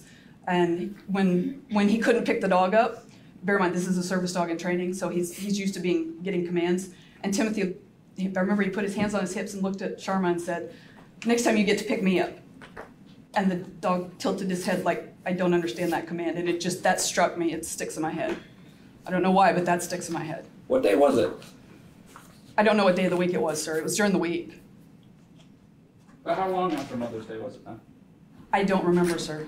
I know the reason I know it was after Mother's Day is because um, mom, my mother-in-law, for a for probably the last four or five years, as a Mother's Day gift, has given me um, cherry tomato plants and then miniature cucumber plants, and I keep them in like plant bags. I normally have a black thumb, I admit it, but I've managed to keep these um, alive pretty well.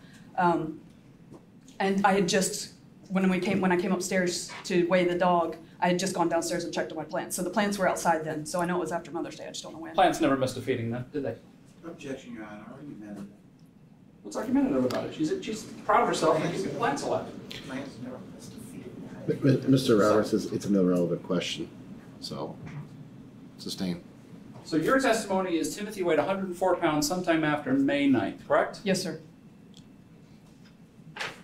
That doesn't look anything like 104 pounds, does it? No, sir. And that's not even a month, that's barely a month after May 9th, isn't it? Yes, sir. I lose weight very quickly. I'm assuming he got that from me.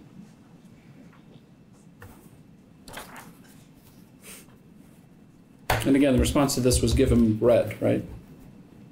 If that's what the text message says, yes, sir. Mr. Johnson asked you about the uh, some text messages back and forth between you and Paul during the ice bath, the last day, the day before Timothy died. Um, and you were observing that ice bath from work, right? I glanced in on it. I wasn't observing the whole time. I didn't. I couldn't. You weren't observing the entire time? Not the entire time. I glanced in on it. Whenever you'd send a text message, you were also looking at the camera, weren't you? No, I wanted Paul to think I was. And Mr. Johnson asked you if you remember the text about, honestly, tell me if you think this is all fake. Remember that? Vaguely. You vaguely remember that text? Yes, sir. So you can remember the text where it, it, it tries to provide you with a defense to this, but you can't remember any of the horrible things that you did to Timothy. Is that your testimony here today? I don't have any control over what I can remember and what I don't, sir. You recall Paul's testimony yesterday about what he did in response to that photograph that he sent you about saying we really need to feed him, Mama? I think we actually need to feed him, I believe is the actual text. Yes, sir. I remember his testimony. And what was his testimony? That he gave him peanut butter and jelly sandwiches, and I guess he cooked him some eggs. That was the first time you'd heard about that, wasn't it? Yes, sir. And that was not his instructions, was it? No, sir, but that was fine. I had no problem with that Well, why didn't you just tell him to make him some eggs in the first place then? because I didn't think of it. I was in the middle of something. I think we actually need to start feeding him, and the only thing you can come up with instead of Paul thinking to give him scrambled eggs is give him some bread. That's all you could think of. It's, I, I mean, I, I don't know. I, I was in the middle of something. I wasn't. I wouldn't have thought of eggs anyway, not in the middle of the day. You said that you would the the punishments, and I guess this three o'clock in the morning one about not letting him sleep or he gets an ice bath, so he's got to be awake at three o'clock in the morning. You said that was because he would keep you guys up in the middle of the night or wake you up in the middle of the night. Yes. Yes, sir.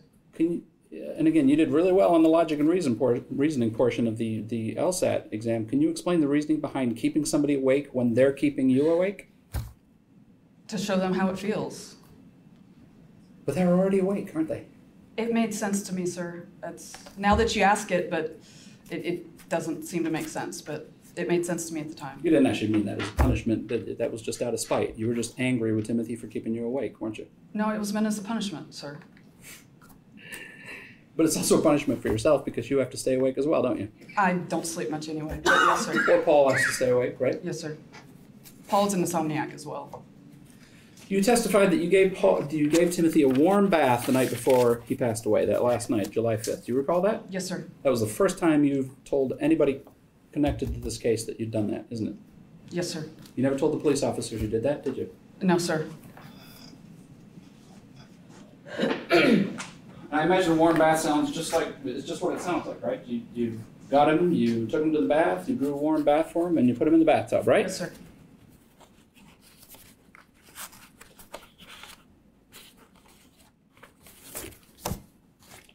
This is hours before he dies, right? Yes, sir. You look like that when you put him in the bathtub?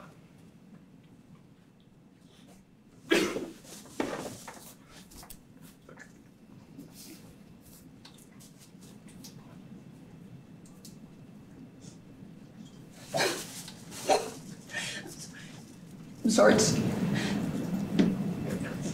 Gotta make me a moment.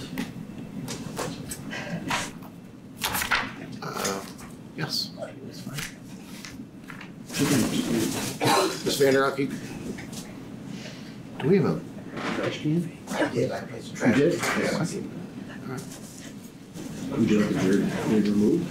These for just a moment. I'll keep it covered. All right, please rise.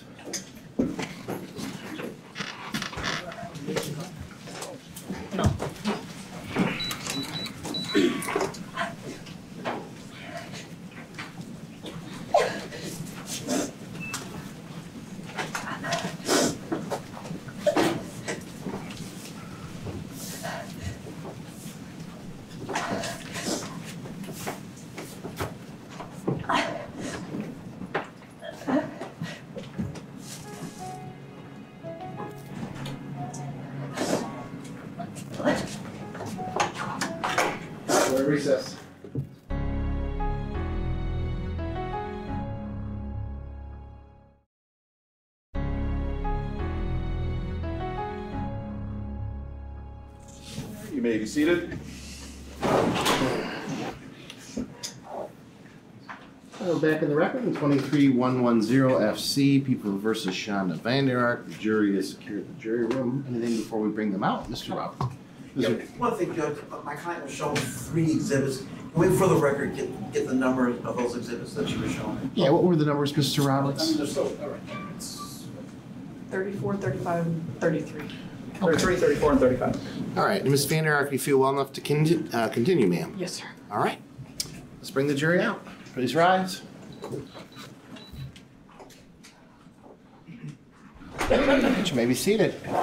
Mr. Roberts, you can continue your Thank you. Uh, before we get back to the question I originally originally asked Ms. Vander Ark, um, you just obviously had quite a, uh, a visual reaction there to the jury, a physical reaction in front of the jury looking at those photographs. That's not the first time you've seen these photographs, though, is it? In fact, you sat in this very courtroom not even a week ago on Friday when we had a hearing about those photographs and looked at those photographs, didn't you? I did not look at them last week, sir. You didn't look at them last week? No, sir, I did not. But you've looked at them before, haven't you? It was, I think it was at the prelim, and I just felt, I gagged that day too. It just wasn't as bad. Didn't throw up, though. No, it wasn't as bad. So if there's video from that hearing that we had last week where you thumbed through the photographs, including the autopsy photos, without vomiting, do you just not remember that as well? We didn't have the autopsy, we didn't have those photos over at our table, sir. You, it won't be on the video, I can promise you that. Well, then I'll return to my original question. Those three photographs depict your son hours after you supposedly put him in a warm bath. Did he look like that when you put him in the warm bath, but for the fact that he was alive? I did not look at him, sir. He was 15. I tried to give him his privacy. It may sound lame, but I, I intentionally look away. That's that's why Paul did most of his baths, is because he's 15 and I didn't think that was appropriate. So you didn't put him in the bathtub. No, he was already in the tub. I just Did, looked. did you get him out of the tub? Um, I don't remember. I think I think so. Later that night, I would assume so. Later that night, how long was he in the tub? Well, night to me is any time after work. So Okay. How long was he in the tub? I don't. I mean, I don't think it was long after I got home, but I don't know. And again, you didn't tell the police officers this when they talked to you about what had happened the night before, did you? I, I- don't remember. Apparently, I didn't. Well, so you don't remember what you told the police officers? I remember part of it, but I mean, I'm, I, if you say I didn't tell them, then I, I trust your word there. If you told the police officers that you noticed he was skinny, so you made him some bread and put some butter on it and watched him eat three quarters of it and then sent him to bed, is that does that refresh your recollection about what you told the officers? I mean, I, I hear what you're saying. I don't remember saying it, but So you don't remember saying those things to the police officer? no, sir. And those things clearly didn't happen, did they? No, sir. How did he get into his room that night? I don't remember, sir. Last page of the text messages. You can go ahead and read that very top text message, please.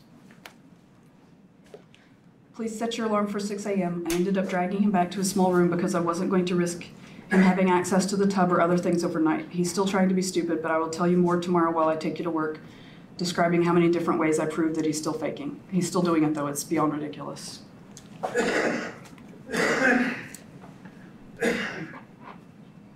I ended up dragging him back to his small room because I wasn't going to risk him having access to the tub or other things overnight. Plan was for him to sleep in the bathroom, wasn't it? I don't remember, sir.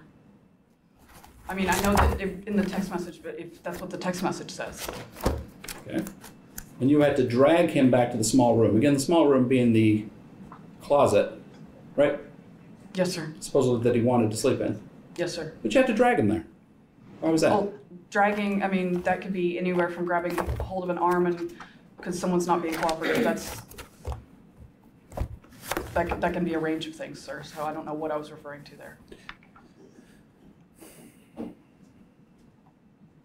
You've seen the video, haven't you? No, sir, I haven't seen any videos. Do you need your Do you need your memory refreshed about him getting back in the small room that night?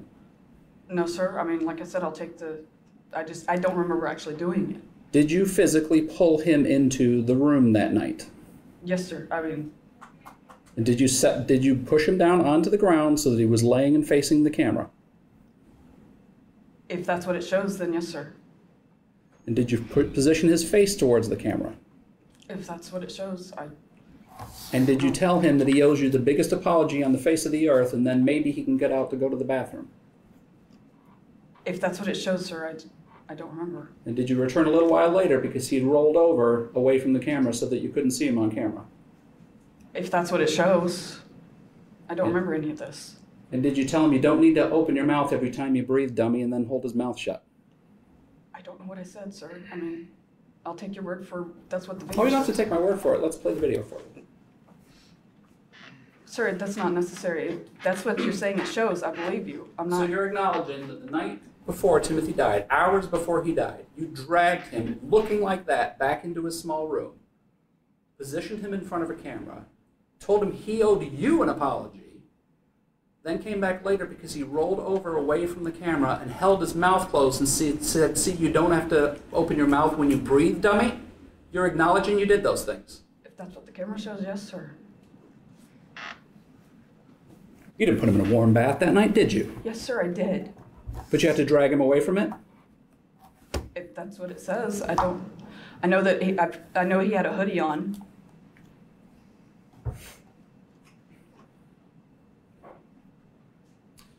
You said the locks on the refrigerator were there because he got into the refrigerator, and if I heard your testimony correctly, he ate a pound of frozen hamburger Yes, sir.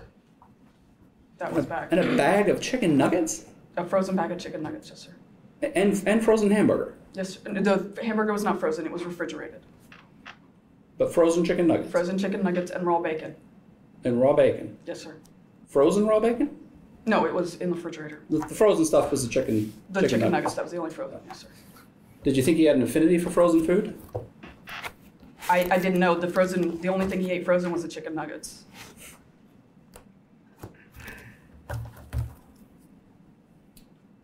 Is that why you sent a text message to Paul while he was in the ice bath at 3:43 that afternoon and said, "Oh, okay, crazy thought. Tell him if he actually sits up by himself and stays sitting up, he will get some pizza rolls. Don't tell him it's only two, and I'm okay if they are frozen rather than cooked." Why'd you send that text message? I don't know. Don't remember that even either. No, sir. So you're not worried about him eating frozen pizza rolls if he sits up. If that's what it says. You- You've heard it read several times. Yes, you're not sir. doubting that's what it says, right? Yes, sir. Just another one of those memories that you just just gone from your head, right? Yes, sir. So when you told Detective Peasky that the reason the locks were on the fr- refrigerator is because he would he would get into them and he'd leave the doors open, that was that was a lie, wasn't it? No, that was also true. He did that as well. How does putting locks on fix that problem? He can't get into it then, so it doesn't get left open. Oh, No, so he was he so you admit that he was not allowed access to the refrigerator or the freezer or to the pantry. As far as and the refrigerator and freezer after we put the locks on. He couldn't get into them, could he? N- No, not after that. And the pantry had an alarm on it as well, didn't it? No, it didn't. Okay.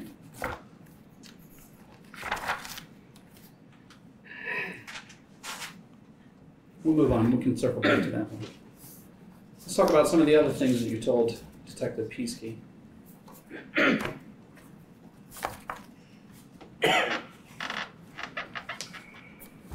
You told Detective Peasky that long, long after the stroke happened in January, Timothy went on a hunger strike. That was a lie, wasn't it?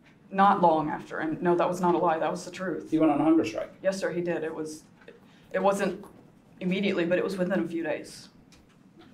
And uh, a hunger strike is refusing to eat, right? Yes, sir. So he's refusing to eat food not long after your husband has a stroke, right? Yes, sir. Then you don't need to put locks on the refrigerator and freezer, do you? If he's refusing to eat.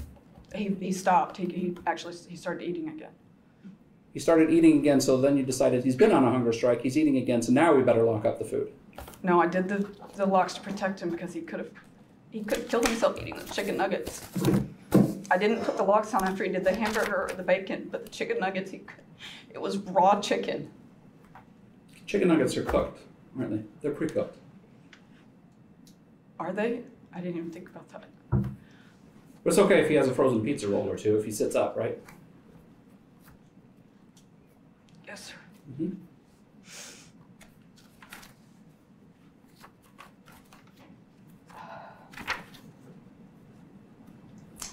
February 18th, 2022. Find out what he has snuck right the heck now. Because I know he has snuck all stuff since you weren't doing what you were supposed to. What do you mean you didn't know he was awake? You both should have been awake at 10:30. I am not happy. You know he wasn't just sitting there. Check the brownies in the kitchen. Check everything not locked away. Check where the flipping keys have been. So starting February, you had to lock up all the food. Make sure he's not getting into the brownies, right? N- All of the food was never locked. We had a, there's no pictures of it, but one of the, the lower cupboards had um, quite a bit of canned food in it.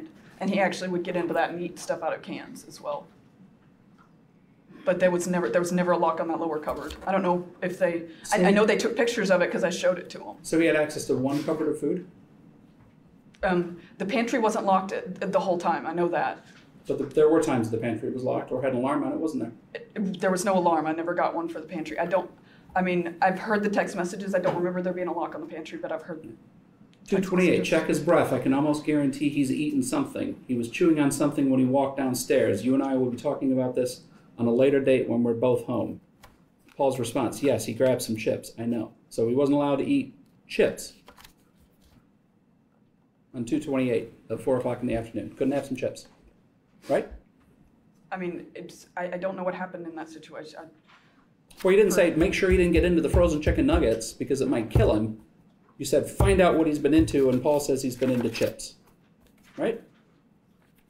that's what it says. Yes, sir. So I imagine the next text message then is, "Oh, great, that's fine. He can have some chips." Well, no. The point of it was he was sneaking things. He knew better. Couldn't have chips. It wasn't that he couldn't have chips. It was that he would sneak things. It So was how would he- dishonest. how would how would he earn getting chips? He didn't have to earn them. All he had to do was ask. I was trying to teach him not to sneak. He snuck. It wasn't just food. He would sneak in the garage. He would sneak toys. He he um, snuck around and messed with his his baby brother's homeschooling materials. I've got like flashcards and stuff for him. He messed with those and got them all out of order. March fourth is around the time that you that, you acknowledged that he was in zip cuffs. You, you we talked about that a little bit earlier, but I don't think we clarified your final text message where you said, "You know what? We will start cutting off the ends once they are tight, so he can't do that." Is that one of the can't remember texts too? Yes, sir. Mm-hmm.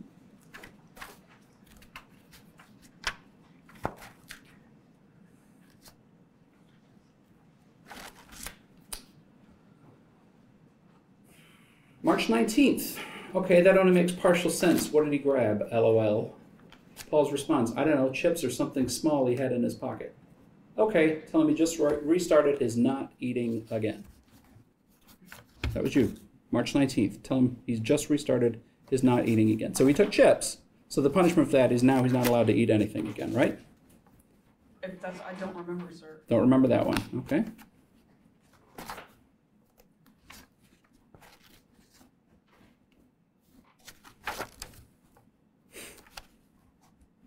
Talking about the punishment outside. Um, Paul says, wall sits question mark, and they say, push him until it looked like he is about to fall over, please. That was for running up and down the stairs, wasn't it, on April 14th? If that's what it says, yes, sir. So you wanted Paul to run him up and down the stairs until he was ready to fall over. That's what the text says. What was what crime had he committed to warrant being physically driven until you fall over? I have no idea, sir.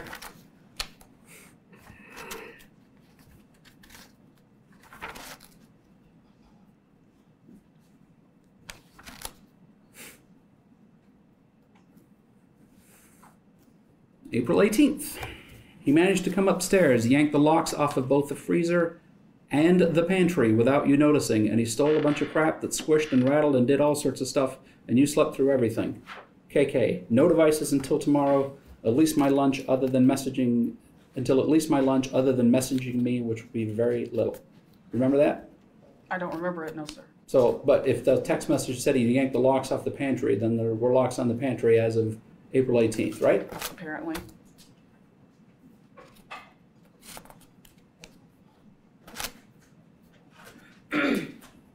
Four twenty-six, almost freaking caught him again.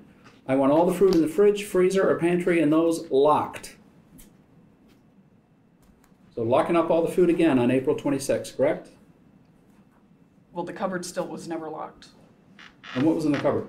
Um, canned, a bunch of canned stuff. There's a bunch of cans in there. Bunch of cans in there? Yeah. So you're okay with him getting into a bunch of canned stuff? I mean, he got into it all the time. So, so what do you go to the drawer, get a can opener, open up the can, put it on the stove, warm the stuff up? No, he didn't. He just, he would eat it straight out of the can. But that It's didn't worry you. weird. Huh? That didn't worry you? Well, when I discovered it, it did, but I just never put anything on that cupboard. So what what caused this almost freaking caught him? And when all the food in the fridge and the freezer, the pantry, those locked up, April twenty eighth. I have no idea, sir. Without having it in there, I don't know what caused it. It's likely related to the text before that, isn't it? I don't know. He keeps pulling his arms down, and that doesn't set off the camera alarm, so please watch him for that. Well, why did he have his arms up? He was standing against the wall with his arms on his head. So he'd have to do that for long periods of time, right? Stand there, but he didn't have to have his arms up the whole time. But I'd set a time limit on how long he had to have his arms up. And you're you're either you're watching or watching an alarm to make sure his arm doesn't go down, right? From the sound of it,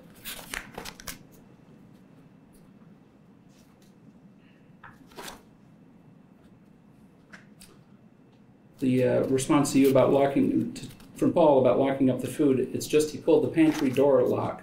What do you mean he just pulled it? Did he take it off? Paul says, yes, that part that attaches to the wall is dangling right now due to sticky locks. Okay, get another one on it right away. Last I saw, they were on the floor in a bag in my room.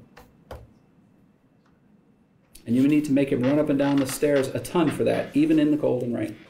So, trying to take some food, not in his cabinet full of canned goods, and pulling, a, pulling the alarm, the pantry lock off, means he doesn't get food, it all gets locked away, and he has to run the stairs, even in the cold and rain, right?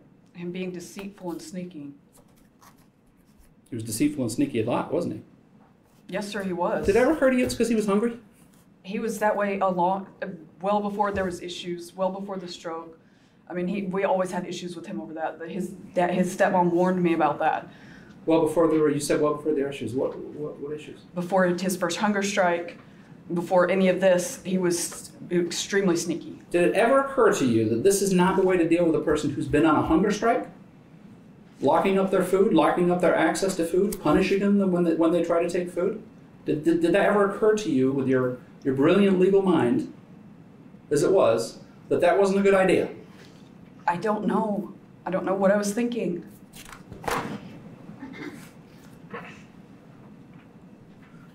April 27th, Timothy is no longer allowed anywhere near the fridge, freezer, or pantry, or any other place where food is.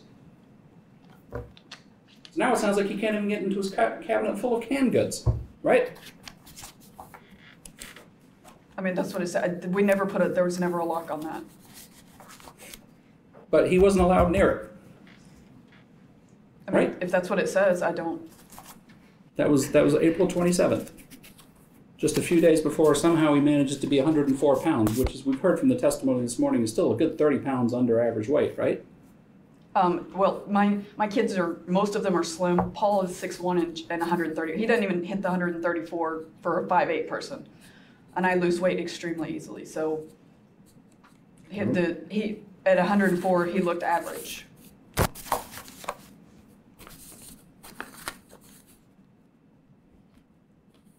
February 14th, I may need some help with it, but I am about to get a lock for the pantry door and a lock for the fridge and both freezers. And then we won't leave any food out of those areas, and he won't have access to unlock those. Okay, Paul's response. Your response, if you disagree, please say so, but he is not going to win this. I may need some help with it, but I'm out, about to get a. Oh, that's the same thing. So you were bound and determined that he wasn't going to win and get food without asking for permission first, weren't you?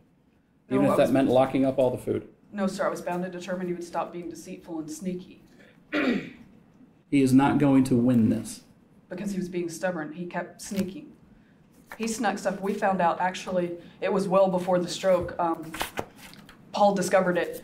This was before his first hunger strike. I mean, before anything. Um, Paul went down to the downstairs bathroom one day, and I think it was, I want to say it was at least three cupboards, if not four across. And I guess he'd opened one of the cupboards, and Timothy had snuck a bunch of stuff. I mean, there was wrappers and cans and all sorts of stuff. He did that. I mean, that was, I don't remember if it was before or after my oldest son's wedding, but it was, it was around that time. And again, your response to all of this, rather than to seek some professional help for him, because of these eating issues that he apparently has, is to restrict even further his access to food, right? And then watch his every move on a camera or with a motion sensor or with an alarm, right? My mm-hmm. response was to try to, to prevent him from being deceitful and sneaky. April 28th, do you want to have just the one on the pants for tonight? When I leave, you will have to have both of them on so it doesn't get away with anything. So by April 28th, you were putting multiple alarms on his person, weren't you? If that's what it says, I didn't realize I even owned more than one. I only remember ordering one. Okay, take off the arm one, but warn him that I will count how many times he moves his arm from the camera picking it up, and he'll be doing stairs for that tomorrow. That's at 11 o'clock in the evening on 428. So you're watching to see how many times he moved his arm when he was in his room? How many times he dropped his, was he in his room? I don't know. You would tell me. I wasn't there. the wall, All I can do is read you the text message. It says, "Okay, take off the arm one," referencing back to the alarms, but warn him that I will count how many times he moves his arm from the camera, picking it up, and he will be doing stairs for that tomorrow. That he, He's not sneaking around there, is he? No, he was up against the wall and he was supposed to have his arms on his head for a certain amount of time. Okay, so at 11 o'clock at night, he's supposed to be up against the wall, and you want to make sure that it, it, he knows you're going to know how many times he moves his arm, and if it's not satisfactory, he gets to do stairs for that the next day. Yes, sir, apparently.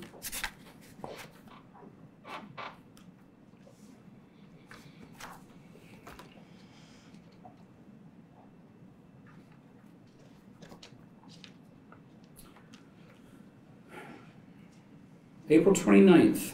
What did he eat? I ate my burger already. Paul's response he ate the crust. Do you remember what your response was? I don't remember. I heard it the other day, but I don't remember sending that. Go try to make him throw up, please. That was your response, wasn't it? If that's what it says. Don't remember? I'm going to put that one in the don't remember category. Like I said, I d- unfortunately between January and the time he passed away, I don't have a lot of memories in general of Gabriel. I'm sorry, of G, of Timothy, of Paul. I know that there's times that I went over to my in-laws' house and there's. I don't remember a lot of that. It's not just this. So the crime he committed here, just so we're clear, wasn't wasn't sneaking frozen chicken nuggets or a bag of chips. It was eating the crust of what sounds to be an already half-eaten burger or an eaten burger. And your response to that is go make him throw up, please. If that's what it says, and the crime was again, it's being sneaky and deceitful. It's it was never about the. It wasn't about the food. It was because he, he, he, he every time we turned around, he was sneaking something. It wasn't just food. He snuck toys. Like I said, he snuck batteries. May 5th, did Timothy work hard enough to sleep tonight so you and I can both get some sleep? He will still have to work super hard tomorrow to earn the same, but wanted to ask about tonight first. You want to explain how that falls in with your statement that the reason he wasn't allowed to sleep was because he would keep you guys awake? I actually do remember that Timothy asked if he could trade off um, not getting to sleep for something else, and I had him doing chores. There's a lot to unpack in that sentence, so I think I'll just start at the end. So he had to ask for permission to sleep. No, Right? this was just, this was because he had kept us up. Like I said before, he had kept us up, so he wasn't going to get to sleep. And he asked if, if he could trade that punishment for another punishment. How is that not asked, having to ask for permission to go to sleep, Miss Vander Ark? It wasn't because it was a punishment. It wasn't anything about, he didn't have to ask to go to sleep. Yeah, it's I'll, I'll do something else if you let me sleep, right? I'm tra- it was trading a punishment for a punishment. That's,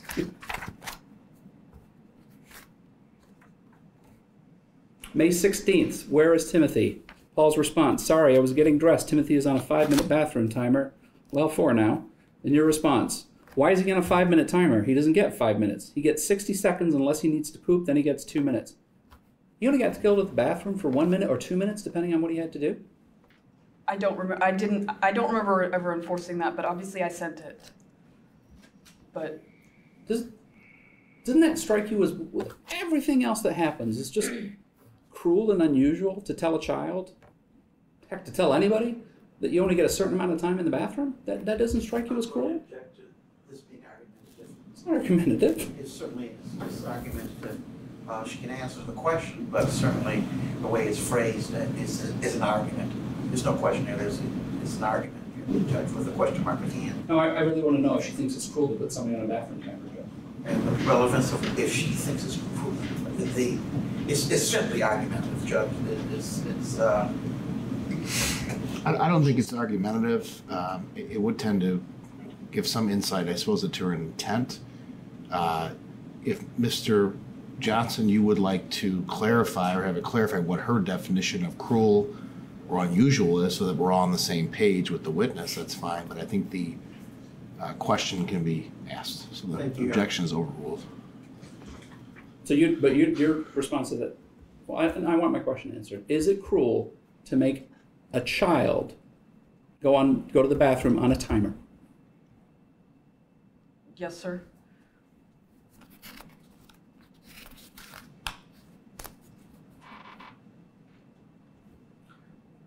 May 17th, before I left, when I was having you sign into the camera and turning on the, sec- the sound for the camera so you would hear the alarm if it went off. And by the way, I told him yesterday that if he did that in the garage again, he would sleep in the garage for a night. So let him know that he would be doing that as soon as the temperatures are safe enough for him to make uh, to make him do it. So you were going to have him sleep in the garage for a night. I actually remember that text message and I was vent, I was frustrated.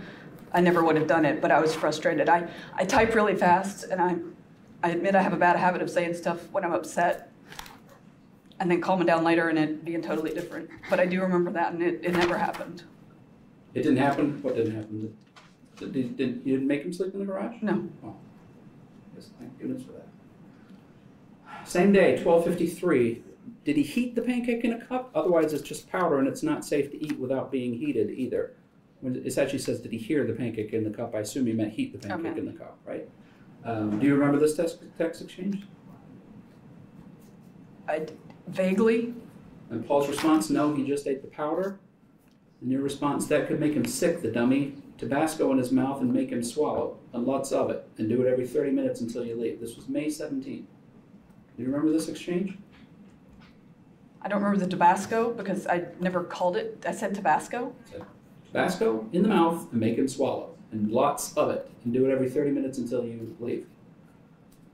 I don't remember that being a part of it. I remember part of the conversation, but I don't remember that part of it. Well, But I- Timothy obviously didn't like Tabasco, did he? We didn't have any Tabasco sauce. That's why it doesn't make any sense. We didn't. We had hot sauce, but we didn't have Tabasco sauce. That's why I'm confused. Okay, so the punishment for eating pancake in a cup is, to, is Tabasco or some type of hot sauce in the mouth. Is that right? Sneaking something dangerous. Um, if that's what I mean, if you're asking what he was punished for, it would be for, for sneaking. You were concerned for his well-being, Yes, sir. right? That, that's that's why you're having this text exchange, right? You're Yes, really, sir. You're really concerned for him at that point. Yes, sir. Those pancakes in a cup had, um, if I remember correctly, it's been a while, but I think they had eggs in them. That could make him sick, the dummy. Do you always refer to him as a dummy when you're worried about him? No, sir. You can look at the text messages. I hardly ever said anything like that. Hardly ever said anything like that. It's, it's not a good idea to call a child a dummy, is it? I never would to him. I was frustrated, like I said. Later on in that same text exchange, Paul says he also crapped himself. And your response is, What? In his pants? Seriously? Paul, I told him to take a five minute shower. Make him do the work in the garage with nothing on below the waist. Just make sure the garage door stays closed, and then he can stand down against the wall with nothing on below the waist until you leave. Just please make sure G does not go downstairs at all while he's standing there like that. Break that up again. So make him do the work in the garage with nothing on below the waist. So his punishment for having an accident was that he had to do chores without pants and underwear on, right?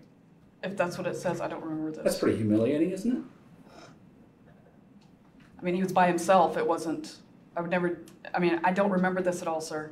You don't, you don't remember that at all. No, sir. Uh, but you, you did have the presence of mind at that time that says just make sure the garage door stays closed because you don't want anyone seeing him doing that, do you?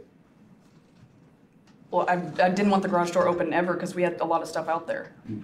So, And then he can stand against the wall with nothing on below the waist until you leave. So, so in addition to cleaning the garage, then he has to stand against the wall with no pants and underwear on, correct? I mean, if that's what it says, I don't. I don't remember this. Please make sure G does not go downstairs at all. Don't remember that either. No, sir. Didn't want, but you again, you you physically typed these words into your phone and sent them to Paul to make sure that G doesn't see Timothy like that, right? Yes, sir.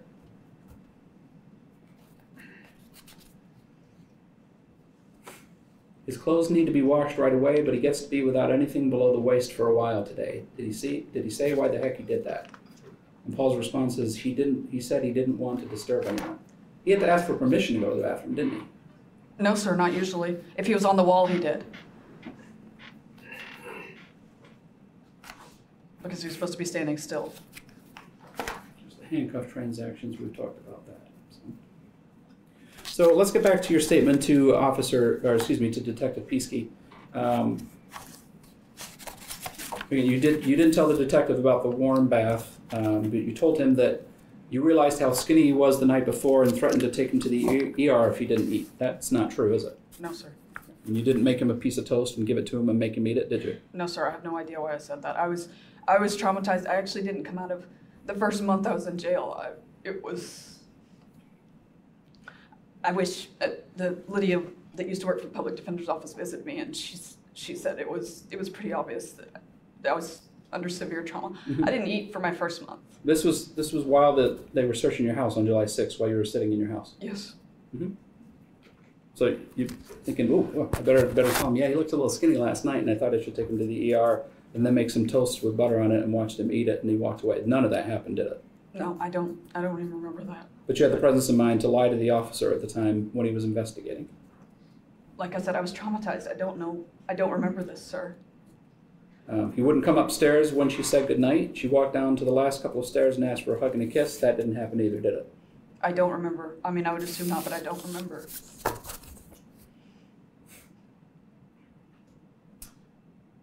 In fact, you're acknowledging that, that that video that shows you dragging him into a small room, looking like he does when he dies, calling him a dummy for breathing with his mouth open, is actually what you did to him the night before he died, right? If that's what it shows, I don't remember, sir. Your statement to Detective Peasky continues. She got ready for work in the morning and went to check on him. She said his name, but he did not respond. She put her hand on his chest and he was not breathing. She remembered her 20 year old son, Paul, helping her get him off the bed. That was all a lie, wasn't it? Yes, sir. You know where he was when you found him that morning, right? In in the closet. In the small room. And er, prior to that, you told Officer Stephanich, well, it was about 5.30, he fell out of bed and I had to go and put him back into bed. Also a lie, right? Yes, sir. I have no idea why I said that, sir. Like I said, I was traumatized. You told Detective Peasky that Timothy started a, stated he was on a hunger strike two weeks ago. This is two weeks before he dies. He goes on a hunger strike. Yes, sir. Did he go on a hunger strike? Yes, sir. He did.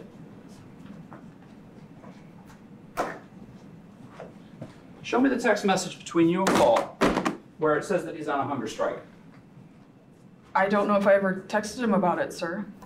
We talked about it, but I never texted. I mean, if it's not in there, I don't.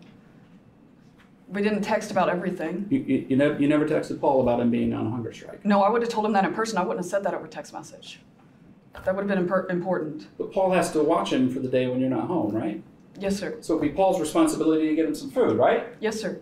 So while he's on a hunger strike, instead of talking about the hunger strike, your response to that is give him four slices of bread with hot sauce on it, and if he eats them and waits 30 minutes, he can eat four without. Right? I don't know what day that was, sir. If you're. Let's find it and make sure. I mean, we you tried to eating just bread because he with- wasn't eating. We tried to feed him. That was. And the best solution you come up with is force him to eat the bread with hot sauce on it. That was the response to the hunger strike? I don't remember. I mean, it wasn't. We tried to feed him. That's. That's all I remember. So when would that hunger strike have started? Um, end of June, late June. Again, you never looked at the, the bone thin photo to see what kind of condition he was in before he goes on this hunger strike, right? No, sir. And Did it ever occur to you, like, he's on a hunger strike now? And I know Paul had sent me that text about, you know, he's bone thin. I think we actually need to feed him. We need to actually feed him. It never occurred to you that maybe you should go back and look at that text message now and see what condition he was in at the time? No, sir. When with me, when something's out of sight, it's out of mind. Once that's scrolled up, I don't scroll back to the text messages. Out of sight, out of mind. That applies to Timothy as well, doesn't it? That applies to, to a lot of things, sir. It's not just. I mean, if Not little man wasn't. Timothy. No, if little man was not in front of me right then, then I wasn't necessarily thinking about it. Paul wasn't.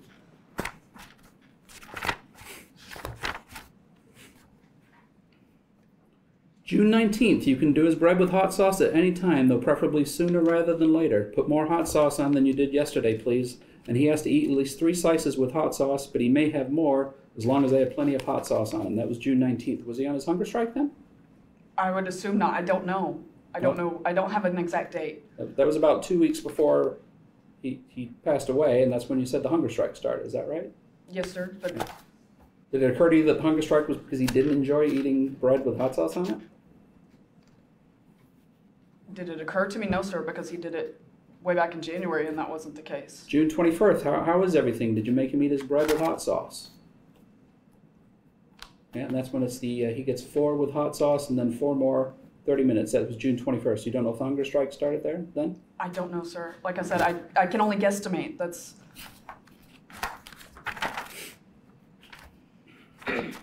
The only reason I remember the three weeks the first time around is because it was right after the stroke and it, he started eating again before the end of January.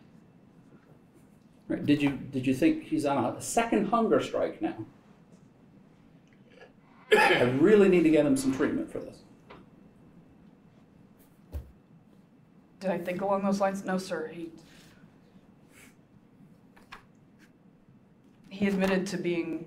He told us very early on after the stroke that he was taking advantage of that because we didn't have the extra set of eyes with my husband, and he was being difficult. He he actually, Timothy told me that his dad and stepmom used to let him get away with everything. Whether that's true or not, I don't know. But he's I've always been the stricter parent anyway, and he he told me on multiple occasions that if um, if he thought that if he pushed me hard enough that I would just quit making him do stuff and I, I wouldn't make him cooperate. All right, well, here's an exchange from June 29th. Maybe this can shed some light on the hunger strike feeding situation. Trust me, I know he's thin. Trust me, I know he's thin. That was your your text, no? Paul's. You sent. You I, sent I Paul don't that remember the right? text, but I mean, You don't remember that one either. no, sir. Trust me, I know he's thin. That being said, he told me a week and a half ago that he wanted to be thin to make me feel bad for punishing him. You don't get to grump at him for that, though I already lit into him plenty for it. Is this while he's on his hunger strike? I mean, I would, I would assume so. Yes, sir. This is June 29th. This is Yes, about sir. eight days before he dies. Yeah, I would assume so. And Paul's response is, Of course he did. And your response to that is, Yeah, so while I want to fix it, he will get most of his calories from plain bread and rice for, you know, pulling that. He will get plenty of calories, but not get to enjoy them that way, you know? Um, that doesn't sound like somebody who's on a hunger strike to me. Can you clarify that for me, please? I don't, I don't remember, but I know he wasn't eating. There was, Continues on. KK. So, yeah, we'll tell you more about what he can eat later, June 29th. just because we offered him food doesn't, I mean, we offered him food when he was on the hunger strike in January. Um, at least I did. I mean, I would assume Paul did as well. But just because you offered stuff, I mean, you couldn't, even though it says try to force him to eat, you couldn't force him to eat stuff. I mean, if he didn't. You heard Paul's it- testimony yesterday that he had to force him, force him to eat the bread sauce, the bread with hot sauce on it, didn't you? Yes, sir. I don't know what he means by that. Uh, it's interesting you use the phrase we, we tried to tempt him with food. That, that, that came up while he was in the ice bath, didn't it? Tempting him with food. Do you mean the day before he passed? Mm-hmm. Yes. I mean, I- if I said I, yes, sir. I mean, uh, You told Paul to heat up some pizza rolls because G needed the pizza rolls anyway, right? You remember that? yes, sir. I, I don't remember the text message, Don't remember. So this falls in the I don't remember category as well. Is that right? Like most of it. Well, Yes, the text message says, heat one up, hold it in front of him, but be ready to pull away if he tries to grab it. You, you don't remember sending any of that? I don't remember it. No, sir.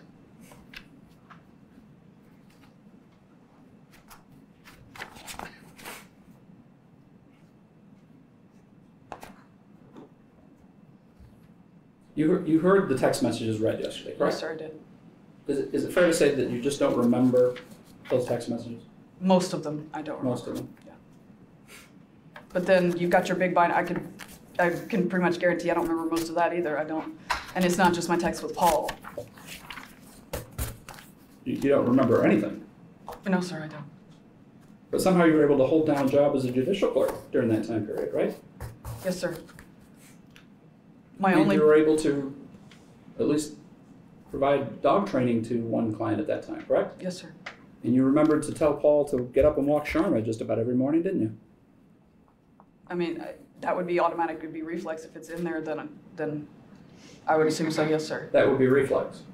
To, to tell Paul to get up and watch Arna, is that what you're saying?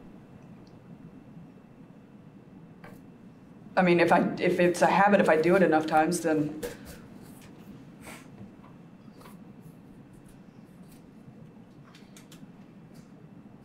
And plus, it served to get Paul out of bed when I left because he liked to go back to sleep. You told the officer that there was an alarm on the basement door, the, that, that's this, the closet, this is the small closet, because there was some sewing stuff stored in it. That was a lie, wasn't it? Yes, sir, there was sewing stuff stored in it before he asked to do that, but But the I don't know why I told him that. The alarm wasn't on there because there was sewing stuff on it, was there? No, sir. The alarm was on it because Paul, because Timothy was supposed to be in there, right? I mean, as far as I know, like I said, I. Don't, don't. You don't remember, but you were able to lie to the police officer at the time? I don't remember talking to the police, I mean, I don't remember this part of the conversation with the police officer, sir. You tell the officer that there were cameras in the home because they gave, because G would strip down naked and wander around. Um, well, that wasn't the only reason the cameras were in the house, was it? No, sir. You left out all the other details about that you had to monitor Timothy and make sure he didn't go certain places and sneak places and be deceitful, right? You didn't tell the officer that, did you? Apparently not. I don't know why I didn't, but You said he fell out of bed and you went and had to get him and put him back into bed. He never fell out of bed that night, did he? not as far as I know. I don't remember, sir. Well, you know he didn't sleep in the bed that night, don't you? Well, yeah, so I'm sorry. So saying that you got up at five thirty and had to put him back in the bed, uh, and then you changed it to thirty minutes because that sometime with the ending in a thirty because you learned at that point the rigor mortis had already set in and he'd been deceased for a number of hours. That was still a lie, wasn't it? I mean, yes, sir, I don't remember any of this. I'm sorry. The hot sauce, the hot sauce in the bathroom downstairs was for food, um, but it wasn't, was it? The hot sauce was for punishment, right? It was also to put on food. But you didn't mention that. Oh, we also use hot sauce as a form of punishment, did you? Apparently not. I, I'm guessing you probably didn't mention the officer. Oh, we also had the crazy idea yesterday to pour some hot sauce on his penis for a punishment. You didn't mention that either, did you? apparently not, sir. Like I said, I don't remember. You told the officer that you did not restrict Timothy's movement at night with shackles. That was also a lie, wasn't it? Again, I don't remember, sir. I know we talked about it, but as far as overnight, no. But you would restrict his movement with shackles, wouldn't you? Whether it was zip ties or handcuffs or leg shackles. I mean, I can only go back based on the text messages. I don't know.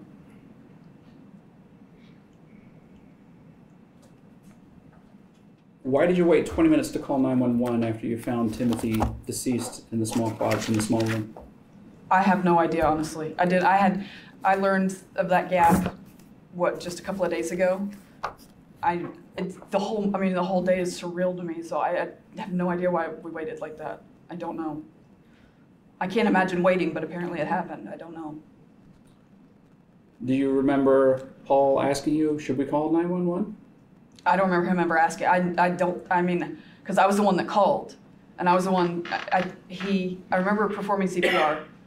And he did help me out a little bit when I got tired to take over a little bit. But, I mean, I can't imagine ever saying no to that. I, But if it's on the video, that's what you said, right? if it's on there.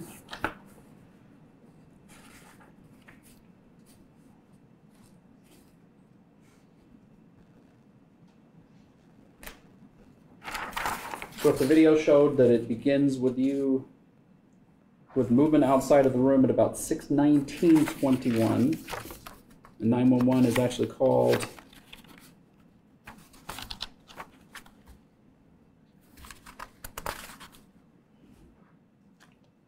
You say you tell Paul you have to call at 6:37, so about that's about 18 minutes, isn't it? I mean, I'll, let's see, 19, yeah, that's 18 minutes. And Timothy was never responsive to you, was he?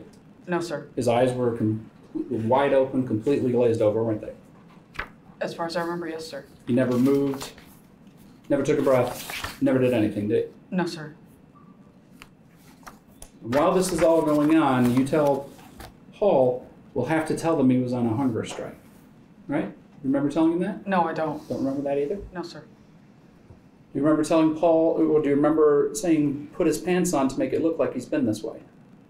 I don't remember saying that. Do you remember asking Paul to put the belt on to make it sure that that's the way he looked? No, sir. But if they're on video, you said those things, yes, right? Sir.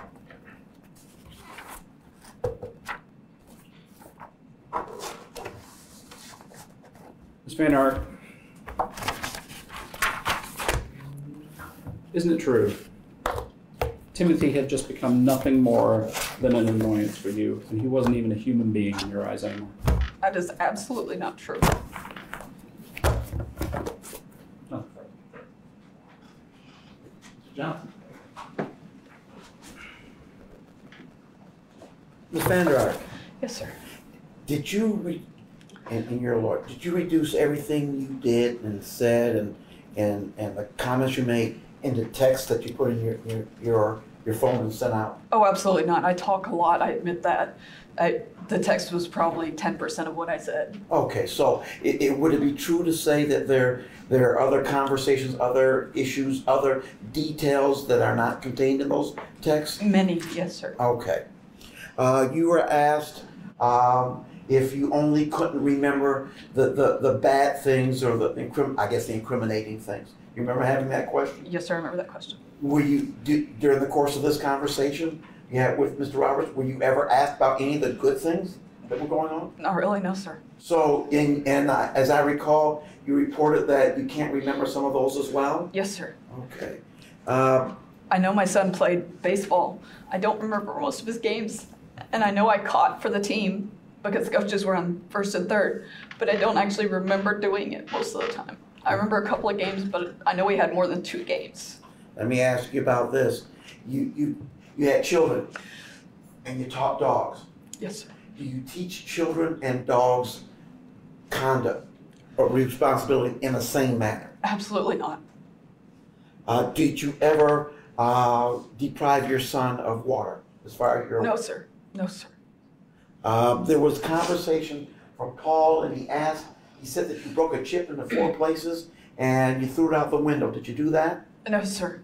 No, the, Show the jury in in using your fingers how big a, a chip it's is. a micro SD chip. Is that all the cameras? They only took micro SD. So if there was a chip on it, that's it was this big. Okay, I don't know how you break that into four pieces. all right. Uh, Paul also talked about he didn't know you had insomnia. Why do you know that Paul did know you had insomnia? because um, I took I, I didn't I couldn't get enough sleep to take any prescription medication for for sleep issues, but I took Benadryl and I have I have a really high medication tolerance. I always have. It took five Benadryl to get me two to three hours of sleep, and so I ordered it, and it's on the Amazon, a great big bot. And Paul had insomnia issues too. And he took, I think he took three, and then Timothy would take. I don't remember if it was three or four. We all had this medication tolerance, but most nights that Paul didn't work, he took the meds with, like, we took them at the same time, so he knew. And we talked about the insomnia issue many times. He knew I suffered from insomnia. Okay. Um, why do you keep? Why why do you in your text do you use motion sensors sometimes and alarms other times? I don't know, honestly. That's just a phrase that, that popped in my head. I don't know. How fast were you typing these words? Yeah, uh, most of them. And uh, in your mind, are those two terms interchangeable? Yes, sir, they are. Because the motion sensor, I think maybe one, no, I think all of our motion sensors, they actually had an alarm, like they would go off. So to me, it's the same thing. Okay. They would, there was a noise to it. Did you ever intend to hurt your child? Absolutely not. Thank you Alan, for the questions. Sure. Just a couple, just based on that, Judge. Um, Mr. Johnson asked you about destroying the, some of the SD cards. You, is it your testimony you never did that? Yes, sir. But you did take the alarm off the small closet door, didn't you? No, I didn't. How did it get off the door? I assume Paul took it off. I know he yanked, I do remember him yanking the garage one off because he was mad. He was angry that day. I mean, we both were not in good shape. But I don't know what happened to the one on the small room. I know that, and he actually, um, I don't, he said something about Chick fil A yesterday. He threw that alarm, and of course, you can't go look now, but he threw that into the trash can in the garage. He, we didn't, Oh, so you, so you went with him when he threw the alarm away? no, I didn't go with him, but he told me he threw it into the trash can in the garage. Um, you've been through law school and passed the bar at that point, correct? Yes, sir. Did you tell him that he might have just committed a crime? Honestly, I wasn't thinking clearly, sir. I was, I was traumatized. I wasn't thinking clearly. No. No, nothing further, Your Honor. All right, Mr. Vander, you can. Uh, Your Honor. Oh, jury questions. Yeah, I'm sorry. Thank you. It's been a long day. Second record in 23110FC, Mr. Johnson. Is your client in some distress? She's distressed, Your Honor, and we're going to be asking for. Uh, uh, I know we have a number of questions. I think that it's going to take a bit of time. And, and while I hope to finish this this evening, uh, given the realities, this reality, I'd ask that we call it a day at this juncture and be prepared to go first thing in the morning. Mr. Roberts? That's fine. Okay. We're coming back tomorrow no matter what, so. Yeah. All right, ladies and gentlemen, uh, we'll break for today. Uh, We'll have you come back tomorrow at uh, eight forty-five with the hope of getting started at nine o'clock. Uh, Again, please do not read any news media reports, social media reports. Don't talk to your friends about this. Uh, Please do not discuss it with the other jurors until the time for deliberations uh, comes. Uh, Again, as before, come in on the hallway, go in the door, close it behind you, and as soon as you ring the doorbell, we'll, we'll uh, be ready to go. I will see you tomorrow at nine. Thank you. Please Honor. rise. Thank you.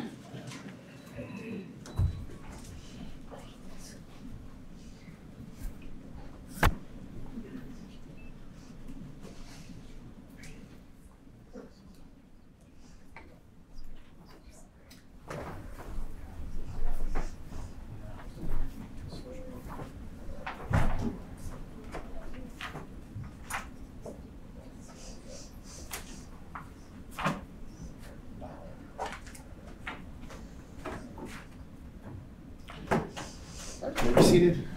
Record reflect is now securing the jury room. Uh, Anything before we break for the day, Mr. Roberts? Mr. Johnson? Just what time do you want us in tomorrow morning, Judge? Uh, I prefer you here at eight forty-five. What time would you like your client at, Mr. Johnson? Eight thirty, please. Eight thirty? Can we accommodate that? Thank you. All right. Uh, We're in recess. Thank you. Thank you, Judge. Have a good night. If you want to see more of the tortured son murder trial, including Shanda's older son testifying against her, check the show notes for a link to our coverage. And to keep up with all the latest true crime stories, you can see me every weeknight at 8 p.m. Eastern on Closing Arguments.